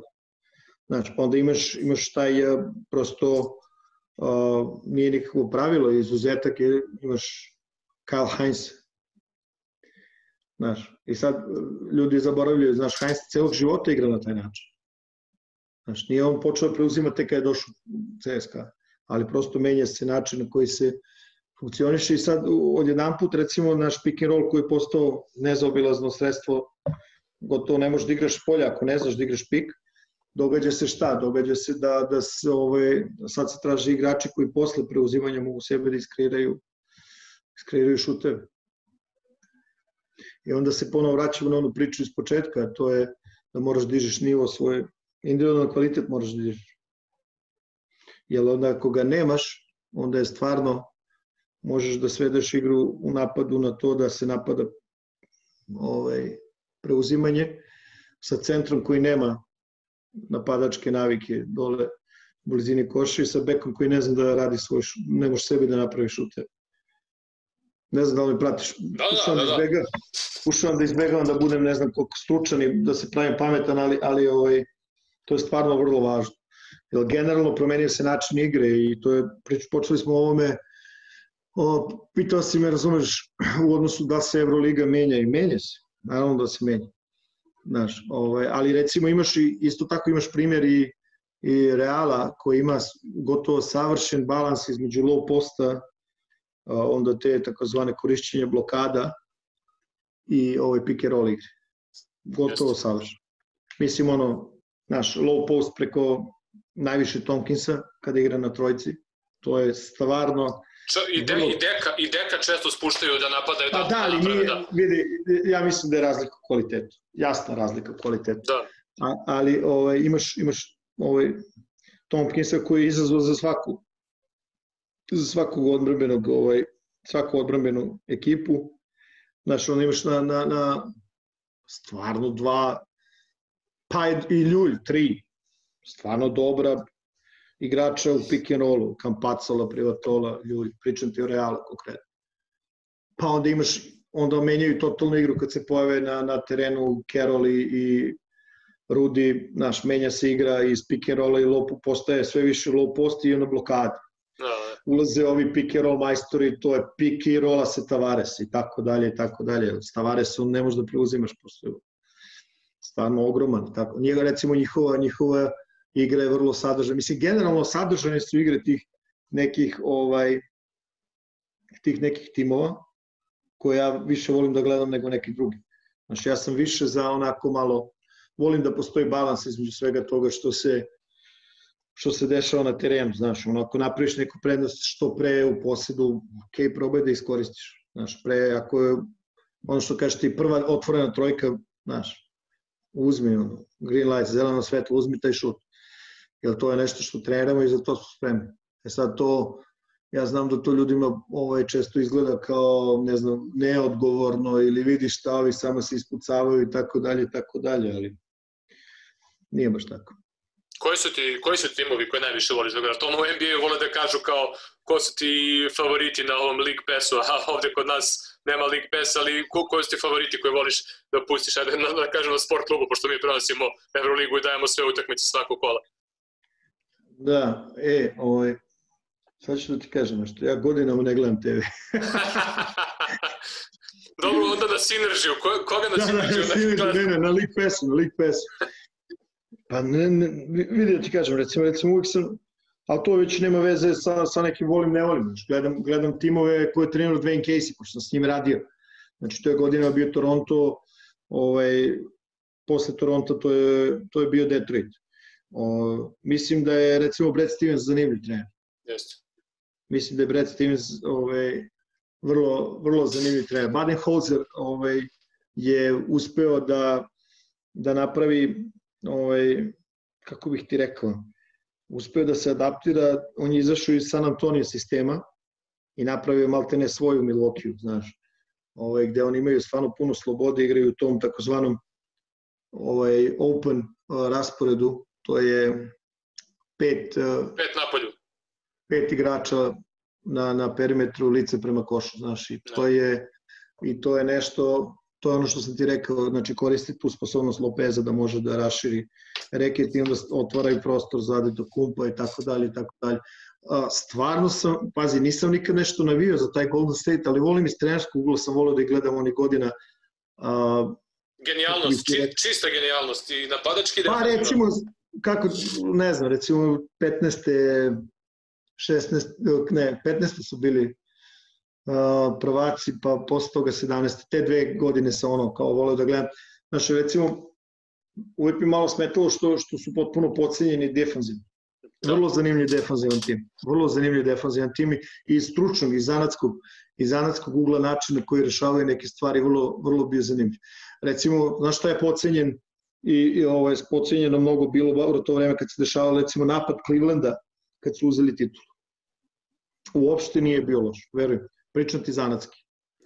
Pričam ti zanatski, zato što sam ono, baš se, oni su ti godine igrali puno protiv Toronta, pa sam igrao slučaje, baš sam ih puno gledao.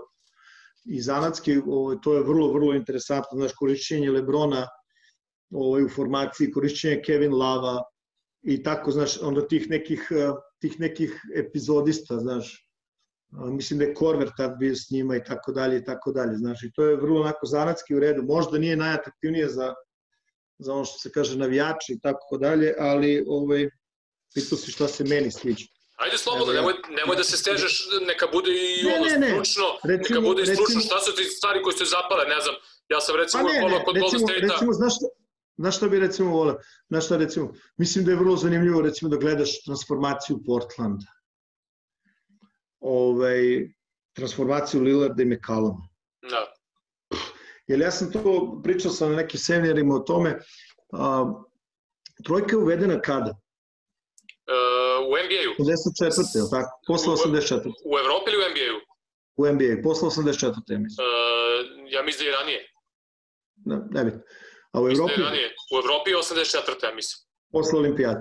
E, da. i gledaj sad ovako nešto. Znači, godinama je bilo na istoj distanci, pa je uvek znam bilo... Da, znam, da je, znam da je Chris Ford dao prvu trojku u NBA, to pamtim uvek. Ali mi da to neka 79, 80, 79, mislim, tako nešto sad.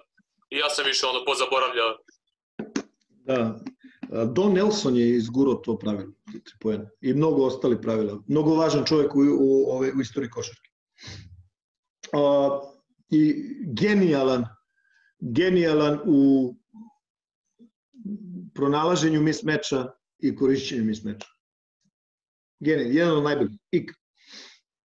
Ovaj, da se vratimo, recimo, McCallum Lillard, rad na range, na, na, na, na udaljenosti s koje su s koje su precizni, znaš, to je neverovatno. Menja svaku odbranu. Znaš, ta evolucija, recimo, udaljenosti sa koje su igrači i dalje u visokim procentima što je strašno. Ljudi samo zna, prate Stefa Karija, znaš. Ali ima, ima dosta, dosta igrača koji, koji mogu to da urade. To je prva stvar, ta evolucija, recimo, i evolucija takozvane catch and shoot igrača. Znaš, sad se obratila pažnja na taj, na taj moment uh, kad je to postalo ekstremno popularno, analizom Clay Thompsona, znaš, i tako dalje. Znači, koje vreme prođe od momenta kad on primi loptu do momenta izbačaja i tako, znaš, ubrzanje izbačaja i tako dalje i tako dalje. Znači, pričam ti iz, iz stručnog nekog, stručnog nekog ugla, to mi je uvek bilo vrlo zada, ovaj, zanimljivo. Miami nije loš za gledanje. Odličan, uvek. Miami nije loš za gledanje. To je to, ne znam šta, kako bih ti rekao. Znaš kako, ja gledam mnogo utakmica i onda ih sečem, ono što mi se sviđa, znaš, i sečem taj klub, ostavim ga sa strane i tako dalje i tako dalje Znaš, gledam, gledam, gledam rešenja, gledam neke ideje, gledam igrače i tako. Pravim neku svoju, nazovi, ovaj, biblioteku videoklipova. Da. A kada je Euroliga u pitanju, pomenuo si Real da, da, da pratiš Efes, šta ti je tu još interesantno od timova koji ne, su specifični? Vidi, da vidi ti kaže, ima mnogo, ima mnogo, ovaj, ima mnogo, ima, imaš šta da vidiš, znaš, recimo zaista ima, po... za, zaista ima. Evo, baš sam pričao sa Simonom, Simonom recimo Alba, koja, eto, da kažeš, neki donji dom Evrolige. Da, e, vidi, to... a i tu neću da pričam. Znači, genijalno, bukvalno uživanje da ih, da ih je gledati. Ej, a it? Da. Odlično. Je li, istina, je li istina uh, da je njegove timove najteže skautirati? Mislim da je vrlo teško skautirati. Pa nije vrlo, mislim, vrlo teško. Ono što moraš da shvatiš, znaš. Sad je problem, uh, mislim, kako bih ti rekao, možda skautiraš na više načina. Možda skautiraš tendencije i možda skautiraš ono, znaš, bukvalno šta se igra, zašto, kako ovo. Tendencije, ako shvatiš njegove, ovaj, kako bih ti rekao, mislim, prilagodiš se ili se ne prilagodiš, zavisi koliko imaš vremena. On zaista, ovaj, mislim da daje jednu veliku dozu slobode u napadu i mislim da je prilično zahtevan odbor. Znaš. I, I njegovi timovi su teški da se igre, jer možda vodiš 9, 10, 12 protiv njih, to njima ne znači ništa. Da. To je tap, tap. Ova, a recimo ono što je zanimljivo, znaš, ovaj, nemaš vrhunski talent kod njega. Kako bih ti rekao, znaš, neči sastavi Reala, sastavi Barcelone, sastav ovaj, CSKA, sastav Fenera, sastav Efesa, prosto su bolji timovi, nema tu nekakve, nekakve, nekakve filozofije, razumiješ. Mislim da treba se gleda svi, Znaš, nema tu ono kao više volim ovo, više volim ono, znaš. To isto ona priča sad ove godine na Feneru ne ide i sad na žoci kao zaboravio košarku. Da. Ja mogu e bro, čemu se radi ljudi? Stani bre malo. Šta treba da ide okolo ovako, da viča? Šta? Da pokazuje 9 tamo, šta? Je li 9, koliko je? Da, da, da. A šta treba da ide 9 da viče oko? Jeste to vira ovde, kod Tyson, šta? Ma daj. Znaš, pri čemu, na, vidio ti kažem nešto, ovaj, mnogo je, mnogo je važno da ljudi shvate, znaš, nije, nije trenerski posao sam X-Ox. To je ono što ste pričao u NBA, tamo je još, na, tamo je još naglašenije. Tamo je još naglašenije. Ovaj, mnogo toga ulazi, u, mnogo toga treba da bude prisutno i moraš da imaš da bi bio po znacima navoda uspešan. Užbuš najbolji na svetu, ne znam kakav, šta, šta god značilo najbolji, mora da imaš kvalitet, moraš da imaš ovaj, kvalitetni igrač. Upravo tako. Ajde, pa ne, da. ajde, ajde, reci. Pa, ja se malo te pitam, ovaj, uh, eto, pri, pričao sam, pravi si sjajne rezultate sa Krkom, uh, mnogo puta smo i pričali na tu temu i kada si bio gost. Uh, nismo pričali na temu, ono, vodio si kasnije Partizan, vodio si ekipu budućnosti, uh, imao si te studijantes uh, tokom ove sezone. Uh, ajde malo se vratimo na, na te sezone, ovaj, Uh, bio si u Partizanu u jednom specifičnom trenutku i ona prva sezona ni, ni, niste uspeli, vratili ste se u konkurenciju za play-off ABA lige. Polo, polo sezona, da. Da, polo sezonu i, ovaj, i imali ste jednu zaista vrlo dobru, da kažem, taj, taj nastavak sezone, vrlo dobar otpor protiv Crvene zvezde u tom periodu koja je bila dominantna a onda kasnije ti sa ekipom budućnosti si uspeo da, da osvojiš ABA ligu. Malo to, da se vratiš na taj neki period, e, kako to izgledalo iz nekog ugla, gde si, ajde da kažemo, u obe situacije negde bio, što bi rekli amerikanci, underdog. Da. Pa dobro, znaš šta, kad, kad je Miće Berić ubedio da, da uzem Partizan, ovo, mislim da su bili poslednji, znaš. I, ove, I onda smo mi tu uspeli neko da vratimo do petog mesta. Pa smo u, u, u, u tom nekom periodu uspeli smo da dobijemo zvezdu, ne znam da se sećaš, pa smo u Hali Sportova dobili CDV-tu, ono, ne znam, 30 razlike, ne znam koliko već i tako dalje. Pa smo i dali zvezdi koja je bila odlična te godine, naši, ono, i, i Radonja je uradio, uf, super posao i dobro su igrali i, i, i raznovrsno i sadržajno i, i dovoljno disciplinovano i prilagođeno kvalitetu, stvarno, stvarno dobro. Mi smo, ja mislim da smo im dali nekakav dobar, dobar ovaj otpor u, u toj nekoj situaciji u kojoj smo bili. A, te godine, znači ja koliko sam bio godinu i po dana u Partizanu, znaš šta, bilo je, bilo je ovaj, dosta specifično, potpuno drugačije nego danas, znaš. Ovaj, da li moglo drugačije se završi, verovatno jeste. Ja sam isto prav, mislim, pravio greške, ali mislim da je bilo i nekih drugih stvari ovaj, koje su uticale na, na ovaj rezultat. Uh, što se tiče budućnosti, znaš kako, tamo smo uradili nešto što, što ljudi nisu očekivali, jel? Osvojili smo ABA, ovaj, te godine smo pet puta pobedili Zvezdu i ovaj, ja mislim da je to važan rezultat. Znaš, meni je mnogo drag. Meni je mnogo drag ovaj, osvajanje, osvajanje ovaj, FIBA Champions Lige sa Krkom i to ABA ovaj, osvajanje ABA s budućnosti onako su dosta, dosta ovaj, meni lično dragi stvari, znaš. E sad, ovaj, kako, kako bih ti rekao, poklopile se neke stvari, puno se radilo, imaš malo sreće i skupi se sve to, ovaj, nekako se uklopi i, i izađe na dobro, što se kaže. Znaš, da li je moglo i drugačije završi, možda i moglo, ali ono, tako je kako je, šta da radim. Kako ti gledaš na taj faktor sreće u sportu? Ovaj, brojni treneri su pričali na tu temu, uh, eto, kao kaže, uradiš sve, sve pripremiš i onda jedna lopta uđe ili izađe i zavisiš od toga. Ovaj, I tako to onda posle drugi, drugi procenjuju. Ti si recimo u te, te, tim sezonama si imao situaciju da, dakle, dobro sećam, u Partizanu Gudurić je pogodio onu trojku za pobedu, E, a, a, a desilo se posle, ne znam, u budućnosti da, na primjer, ono Lesorov, onaj, onaj zicer je praktično izašao iz koša. Ovaj, kako gledaš na taj faktor sreće? Je li to uopšte sreća ili nije sreća? Mislim, E, slušaj, Gudura ispred moje klupe, Vanja na njemu, visi mu na rut, mislim tu blizu. I ja zezam posle Gudura, da rekao sam žmurio sam, rekao si što to nema da me zezam. A kao koč, nemoj da pričaš. Ja. Uradi onaj njegov čuveni step back, ovaj, u desno i digne se i ubaci me. Je ušlo u tablu, znaš? Ja, ja mislim da jeste u tablu, da. A nema pojma, jesi, znaš, ali gledam onako, naš, znači ne gledam ošti koš, događa se baš ispred mene i kako izbacio, kažem, video ovaj.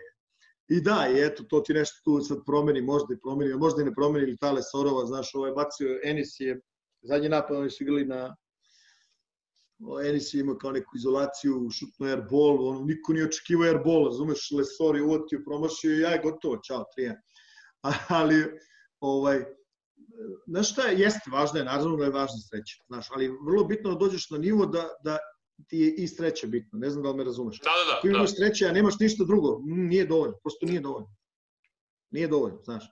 Vidi, nema nikakve veze puno sreća s time da uzme Dolman i odigra šah u prvoj utakmici te godine u finalnoj seriji sa, sa Zvezdom. Šah čovjek odigra. Jeste, ja sam ga naučio da igra šah, nema da se zezna. Stavio sam ga u tu situaciju, čovjek uzuje, spakovo nas i ovi momci neki drugi posle, posle završili. Mislim, ono, on čovjek tu igra na svoju odgovornost, neke stvari koje ljudi ne znaju, znaš, povrećeni i tako dalje. Mi svašta, svašta nešto radimo, taj medicinski tim i, i Fića koji je bio kondicioni trener, znači ekstremne neke, neke napore da on malte ne bud, da može da stoji bre na nogama u toj finalnoj seriji odigra tu prvu utakmicu da nam ono što nam je trebalo da nam da i kad smo otišli za Podgoricu završili smo posao, ali kažem ti, znaš, ovaj, nemam ja nemam ja nikakve zablude da sam ja sad ovaj, u radu sa Dolmanom, od kako je došao, e, u ta dva, tri meseca mi smo ga potpuno promenili, uzdigli ga odavde do odmah, daj, pusti tu priču, to je za malo deca. Ovaj, jel kao trener, znaš kako, nemaš tu taj neku filozofiju, mislim, nema tu neke velike priče. Onako, ono što zna, daj im da rade ono što znaju, ono što ne znaju, nemoj im tražiš da znaju. I nemoj se čudi što ne znaju. Nemoj stavljaš te situacije. Znaš, ono. I to je to. Mi smo igrali tada, znači, naš, mislim, ono, kako bih ti rekao, naš napad je, pričamo o, ovaj, o budućnosti, bio je zastavan na tim, na kvalitetima naš te trojke, Gordić, Ivanović, uh, Gibson, ostatak tima je to pratio, svi do jednog, to je to. Mislim da smo igrali jednu odgovornu odbranu, dovoljno agresivnu, dovoljno tvrdu, dovoljno tako da, da prosto ekipe koje su imali i Cedevita i Zvezda imali su veći kvalitet od nas. Mislim da, da tu nema dileme. Znaš, i neke stvari koje smo mi radili tokom, tokom tog play-offa da bi se ovaj, da bi se prilagodili na, ovaj, na terenu i tako dalje i tako dalje, davale su nam, davali su nam, ovaj, davali su nam rezultate. Znači, recimo, zaboravili su ljudi epizodu Popovića na Vilčeriju ovaj, protiv CDVT ili to da sam ovaj, da je Gibson uzeo i čuo ovog, kako se zvao ovaj, igrao CDVT na 3-4 je zvao stade mi mozak. Možda se setiš. Ko beše bio tada, sad sad i meni mozak. Gori si od mene, ja sam mača, ko je tvoja ja se ne sećam, ja se ne sećam, bukvalno, baš sam rekao, da s kim sam pričao, ne sećam se ove sezone više šta je bilo. Totalno ovo, ovo e. neka pauza, ovaj karantin, isključio e. sam, samo, samo gledam filmove i serije. da, sram te bilo, umesto čitaš knjige. A I, dobro, i to, i to. Oj, šalim se. Uh, kako se zvao čovjek? Baš stade mi mozak, strašno. Ali, znaš šta, nemam ja tu šta puno da, da ti tu nešto objašnjam. Ja znam za sebe šta je moglo da se uradi bolje, ali znam da se dosta toga dobrog uradilo. Na kraju krajeva pričamo o toj sezoni u Krki, to je za mene neverovatna sezona. Ovaj, posle toga, ako se gurne na stranu, rezultati protiv Žalgirisa, mislim da je bilo dobra sezona u Ritasu. Žalgiris nismo mogli dobiti da kraj. Prosto bili su predobri za nas bili su predobri za nas. Ovaj, I onda ovo sa budućnosti, ok. Da. Eto, to je to. Da. Mislim, ne, ne, mislim kako, kako bih ti rekao, pita si me, znaš, da li je sreća bitna? Vidi ovako, da bi tim funkcionisao, znači prvo treba postoji nekakva logistika. Sad, znači, imaš ozbiljan menadžment koji treba da obezbedi ozbiljan budžet po zacima navoda. Znači onda svi kažu, znaš, ne igraju pare. Pa ne, ne igraju pare, ali za pare kupuješ igrače koji igraju dobro. Razumeš? Evo ti mi sad reci iz glave, jel ima neku top 20 igrača Euroligije koji zarađuje puno novca, a ne zaslužuje? Evo ti mi reci. Pa ne, pa, ozbiljno. Ne, nema, naravno. Pa mislim, ono, mnogo teško se nađe. Da, i on, ne, pazi, uvijek će sad neko da nađe neko ime, e, on je preplaćen ovako, pa dobro, u redu, ali mislim, znaš, zbog nečega je preplaćen. Pa, e, ali tamo je igrao bolje nego ovde, a ovde je igrao lošije nego tamo. Da, pa, okej. Ne možeš da se zadržiš na, na istom nivou ne znam koliko godina i tako dalje i tako dalje. Znaš, i tu, tu nema tu nema puno ovaj, neke, neke filozofije. Sad kao, kao ja sad tebi kad bi dao, razumeš, uzmi sastavljaj tim i sad kao ti sad ne znaš i uzmeš listu kojih je pet najboljih playmakera u Evropi i sad ti imam para da kupim nekom od ovih pet, ali ću kupim 68. Jel bi to uradio? Pa mislim, jel me razumeš što ti pričam? Pa naravno. E, e, u tom smislu je novac vrlo bitan. Da. U tom smislu je novac vrlo bitan.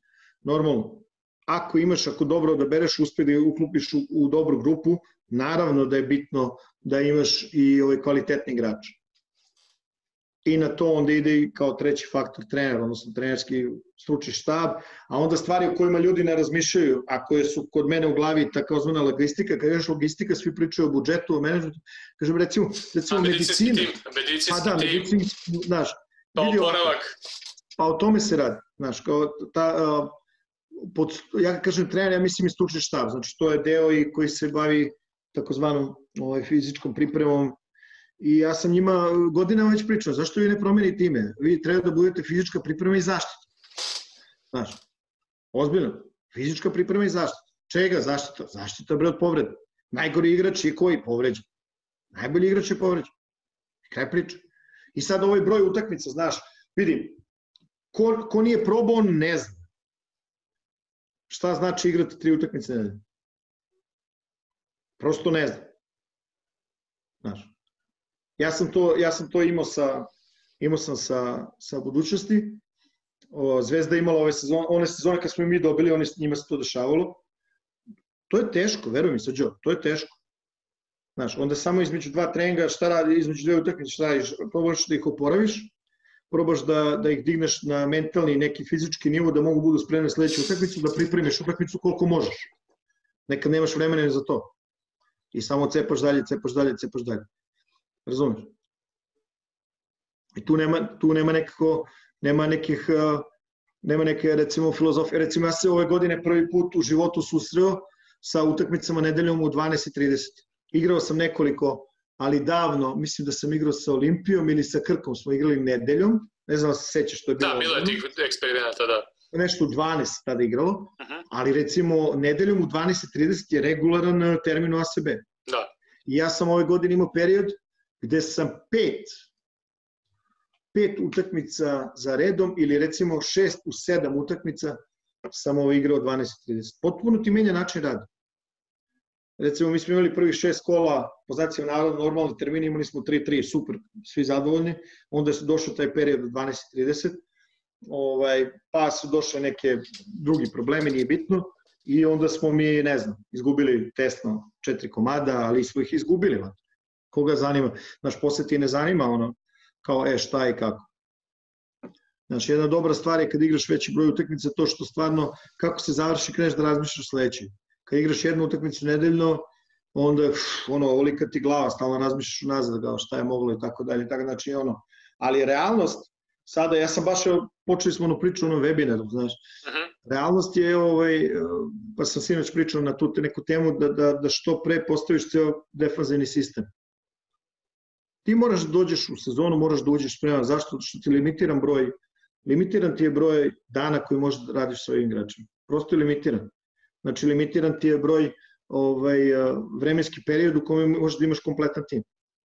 Nemaš nikakav uticaj na, recimo, FIBA prozore, ovo ono, zbog ovog, zbog ovog sukoba koji imaju ovaj, FIBA i Euroliga i kad igraš na tom nivou, čemu se radi? Razumeš? Tako da mislim da treba da, da, da će, i da će se dešavati neke adaptacije u trenerskom poslu. No. Da. Razumeš, mnogo više planiranja, mnogo više, znači ta takozvana, ja to zovem ekonomija, trenersko, naš, ono, economy of coaching. Prosto, znači, moraš da ideš, moraš da imaš najefikasnije u najmanjem, ovaj, u najmanjem vremenskom periodu. Znaš, nema više ono, e, spremamo se 10 nedelja. Mislim, to nije više realno.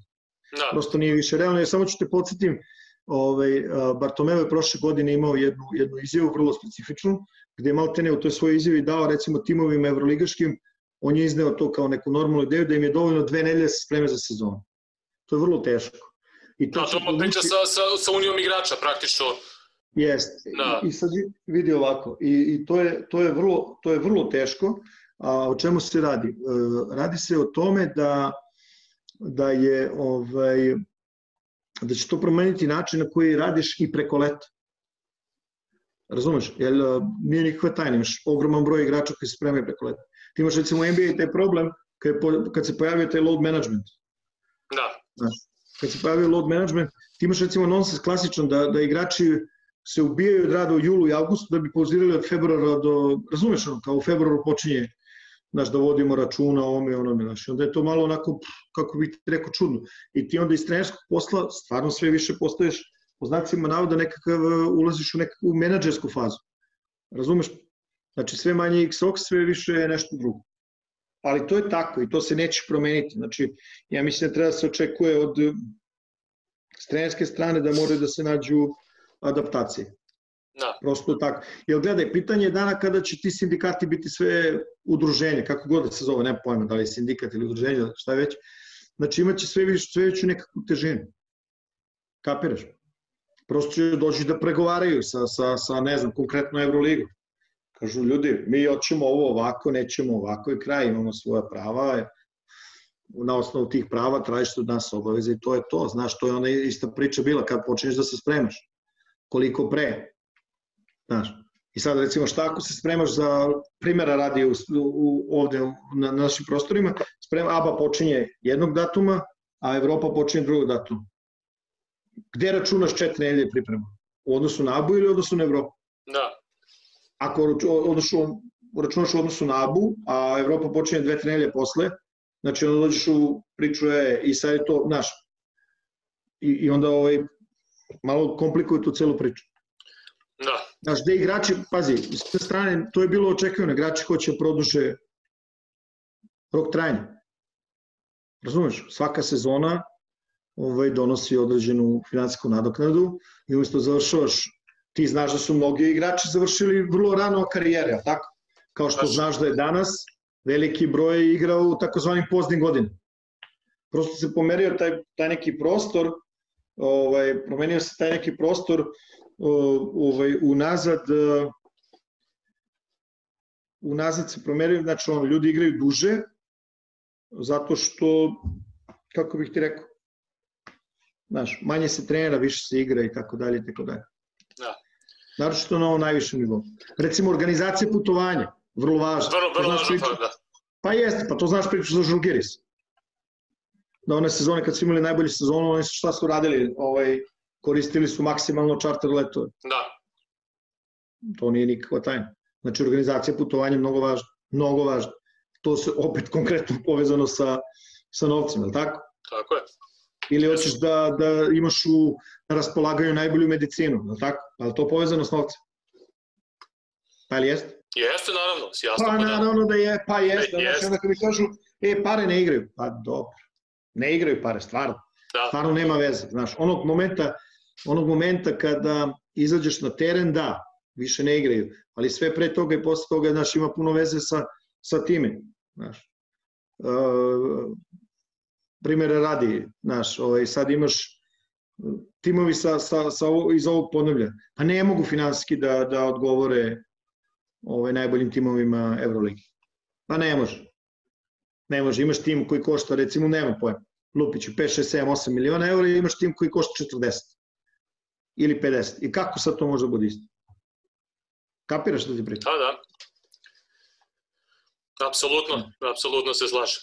I to je, mislim, jedan od problema koji vjerojatno treba nešto da se verovatno treba nešto da se rešava. Pa isto, isto je, pazi ovako, isto je, recimo, ovaj, prosto je otvoreno pitanje ovaj, da li ABA liga kao najznačajnije, najznačajnije po znacima navoda, da ne, da ne otvaramo tu temu, ovaj, takmičenje u regionu, da li ona treba da završava sezonu ili da počinje sezonu. Razumeš što ti pričam? Tako je, da. Da li, je, da li je baš najbolje počinjati tamo kad se počinje, zadnja, zadnja nedelja septembra se počinje ili oktobra, ili možda počinjati u decembru. Pa završavati sezonu onim što je najvažnije. Da, da. Znaš, istovremeno ostaviš sebi prostor, ostaviš prostor timovima koji se takmiče u Evropi, ostaviš im prostora da ostaviš im prostora da ovaj da bolje nastupaju u Evropi. A recimo tu neku nazovi rupu o, ovaj utakmicama tu staviš da počne nacionalno prvenstvo. Pa kad se nacionalno prvenstvo završe ranije, onda ostaje više prostora koje možda ostaviš eventualno timovima da radi, ali samo po defaultu, tek onda timovi koji su nacionalnim prvenstvima, koji ne igraju Evropu, ne igraju ABU. Razumeš? Da ih na taj način okreneš prema tome da razvijaju mlade igrače. I odjedan put, razumeš, imaš, da, imaš nešto kraću sezonu, ali imaš nešto više vremena da radiš sa igračima. Jer pazi, nije nikakva tajna ovaj, koliko meseci od 12 rade timovi kod nas. Ne znam da li si ikad razmišljao o tome Da, kad se skupljaju i kad završavaju sezonu. I taj neki nazovi o, postsezonski period se završio. Onog momenta klubovi neće da plaćaju više igrača kada nema takmičenja, oni su ostavljeni sami, ostavljeni sami sebi, a to je konkretno povezano sa onim što sam ti rekao. Ja znam mnogo igrača koji rade na sebi preko leta. Razumeš? Ulažu u sebe, rade na fizičkoj pripremi, rade na, na individualno sa loptom, ali to je sve mimo kontrole klubova onda znaš, nije nikakav, nije nikakvo to ovaj, kako bih ti rekao, nije nikakva nov, novost ili novina. Znaš, da je, koliko igrača je na jednu godinu potpisano. A preduslov uspeha su kontinuiteti. Nema tu bre filozofije uopšte. da. Razumeš? Eto. Ispričao smo se lepo. Ne znam koliko ovo ima jedno skoro dva sata. Pa ne, ne znam kad smo krenuli, stvarno ne znam kada smo Da. krenuli, ali ono, Nisam ni ja Ovaj. pogledao tačno na sat, ali znači toliko Ovaj. sam ti do sada. toliko smo se ispričali, nešto Da. smo i pozaboravljali, nešto smo teli, nismo teli. Koga, Pa ne, e, jel, jel se Mike, Mike, Pro, Mike Prokopio beše ovaj Kobijev što je bio lični scout? bravo, dečko, bravo, dečko, Da. to je taj. Da, Jeste, belac, onako, ovaj, da. ovaj beli, beli jedan uh, momak. Jest, jest, to je taj. To je taj. Moram, moramo se setimo ko je bio i CDVite da, da se ne brukamo. Je li Edwards? Nije. Dimitris Nikos, on bio? Ne, jest, Nikos, Nikos. Dimitri jeste, on je bio, da. Da, Nikos, da, da. Znaš, znaš da je terorista celu ligu, i onda na kraju ti u nekim Ruločeviću utakmica Gibson je uzeo i rešio. da. Popović je rešio čeri. Koliko, koliko lete, znači nešto što je bilo pre dve, tri godine, kao da ja se bolje sećam 90-ih nego što je bilo pre dve, tri godine, otprilike. Ja ću da ti kažem. Koliko ja toga za se dešava. Ja za sebe znam šta mi je, ali ja ne znam šta je s tobom. Ne prijemi, ne prijemi ovaj, ovaj period karantini i ostalo čuda. Ti kao Benjamin Button unazad ideš. Sve, da, da, da, bukvalno. Bukvalno. Čile, eh, hvala ti na, na izvenom vremenu, na kao i uvek mnogo zanimljivih priča. Verujem da će našim gledalcima biti tekako zanimljivo da, da odvoje ovih skoro dva sata. Ovaj, tako da želim ti mnogo zdravlja i tebi i tvojoj porodici da se ovo prođe i onda u nekim normalnim uslovima da, da ponovo pričamo o košarci. Bilo je zaista interesantnih priča i, i ideja ovde. Viđemo se, Srđe, sve najbolje. Pozdrav tebi i svima koji budu odvojili vreme da nas pogledaju. Važi, pozdrav, čao! Ćao, prijatno.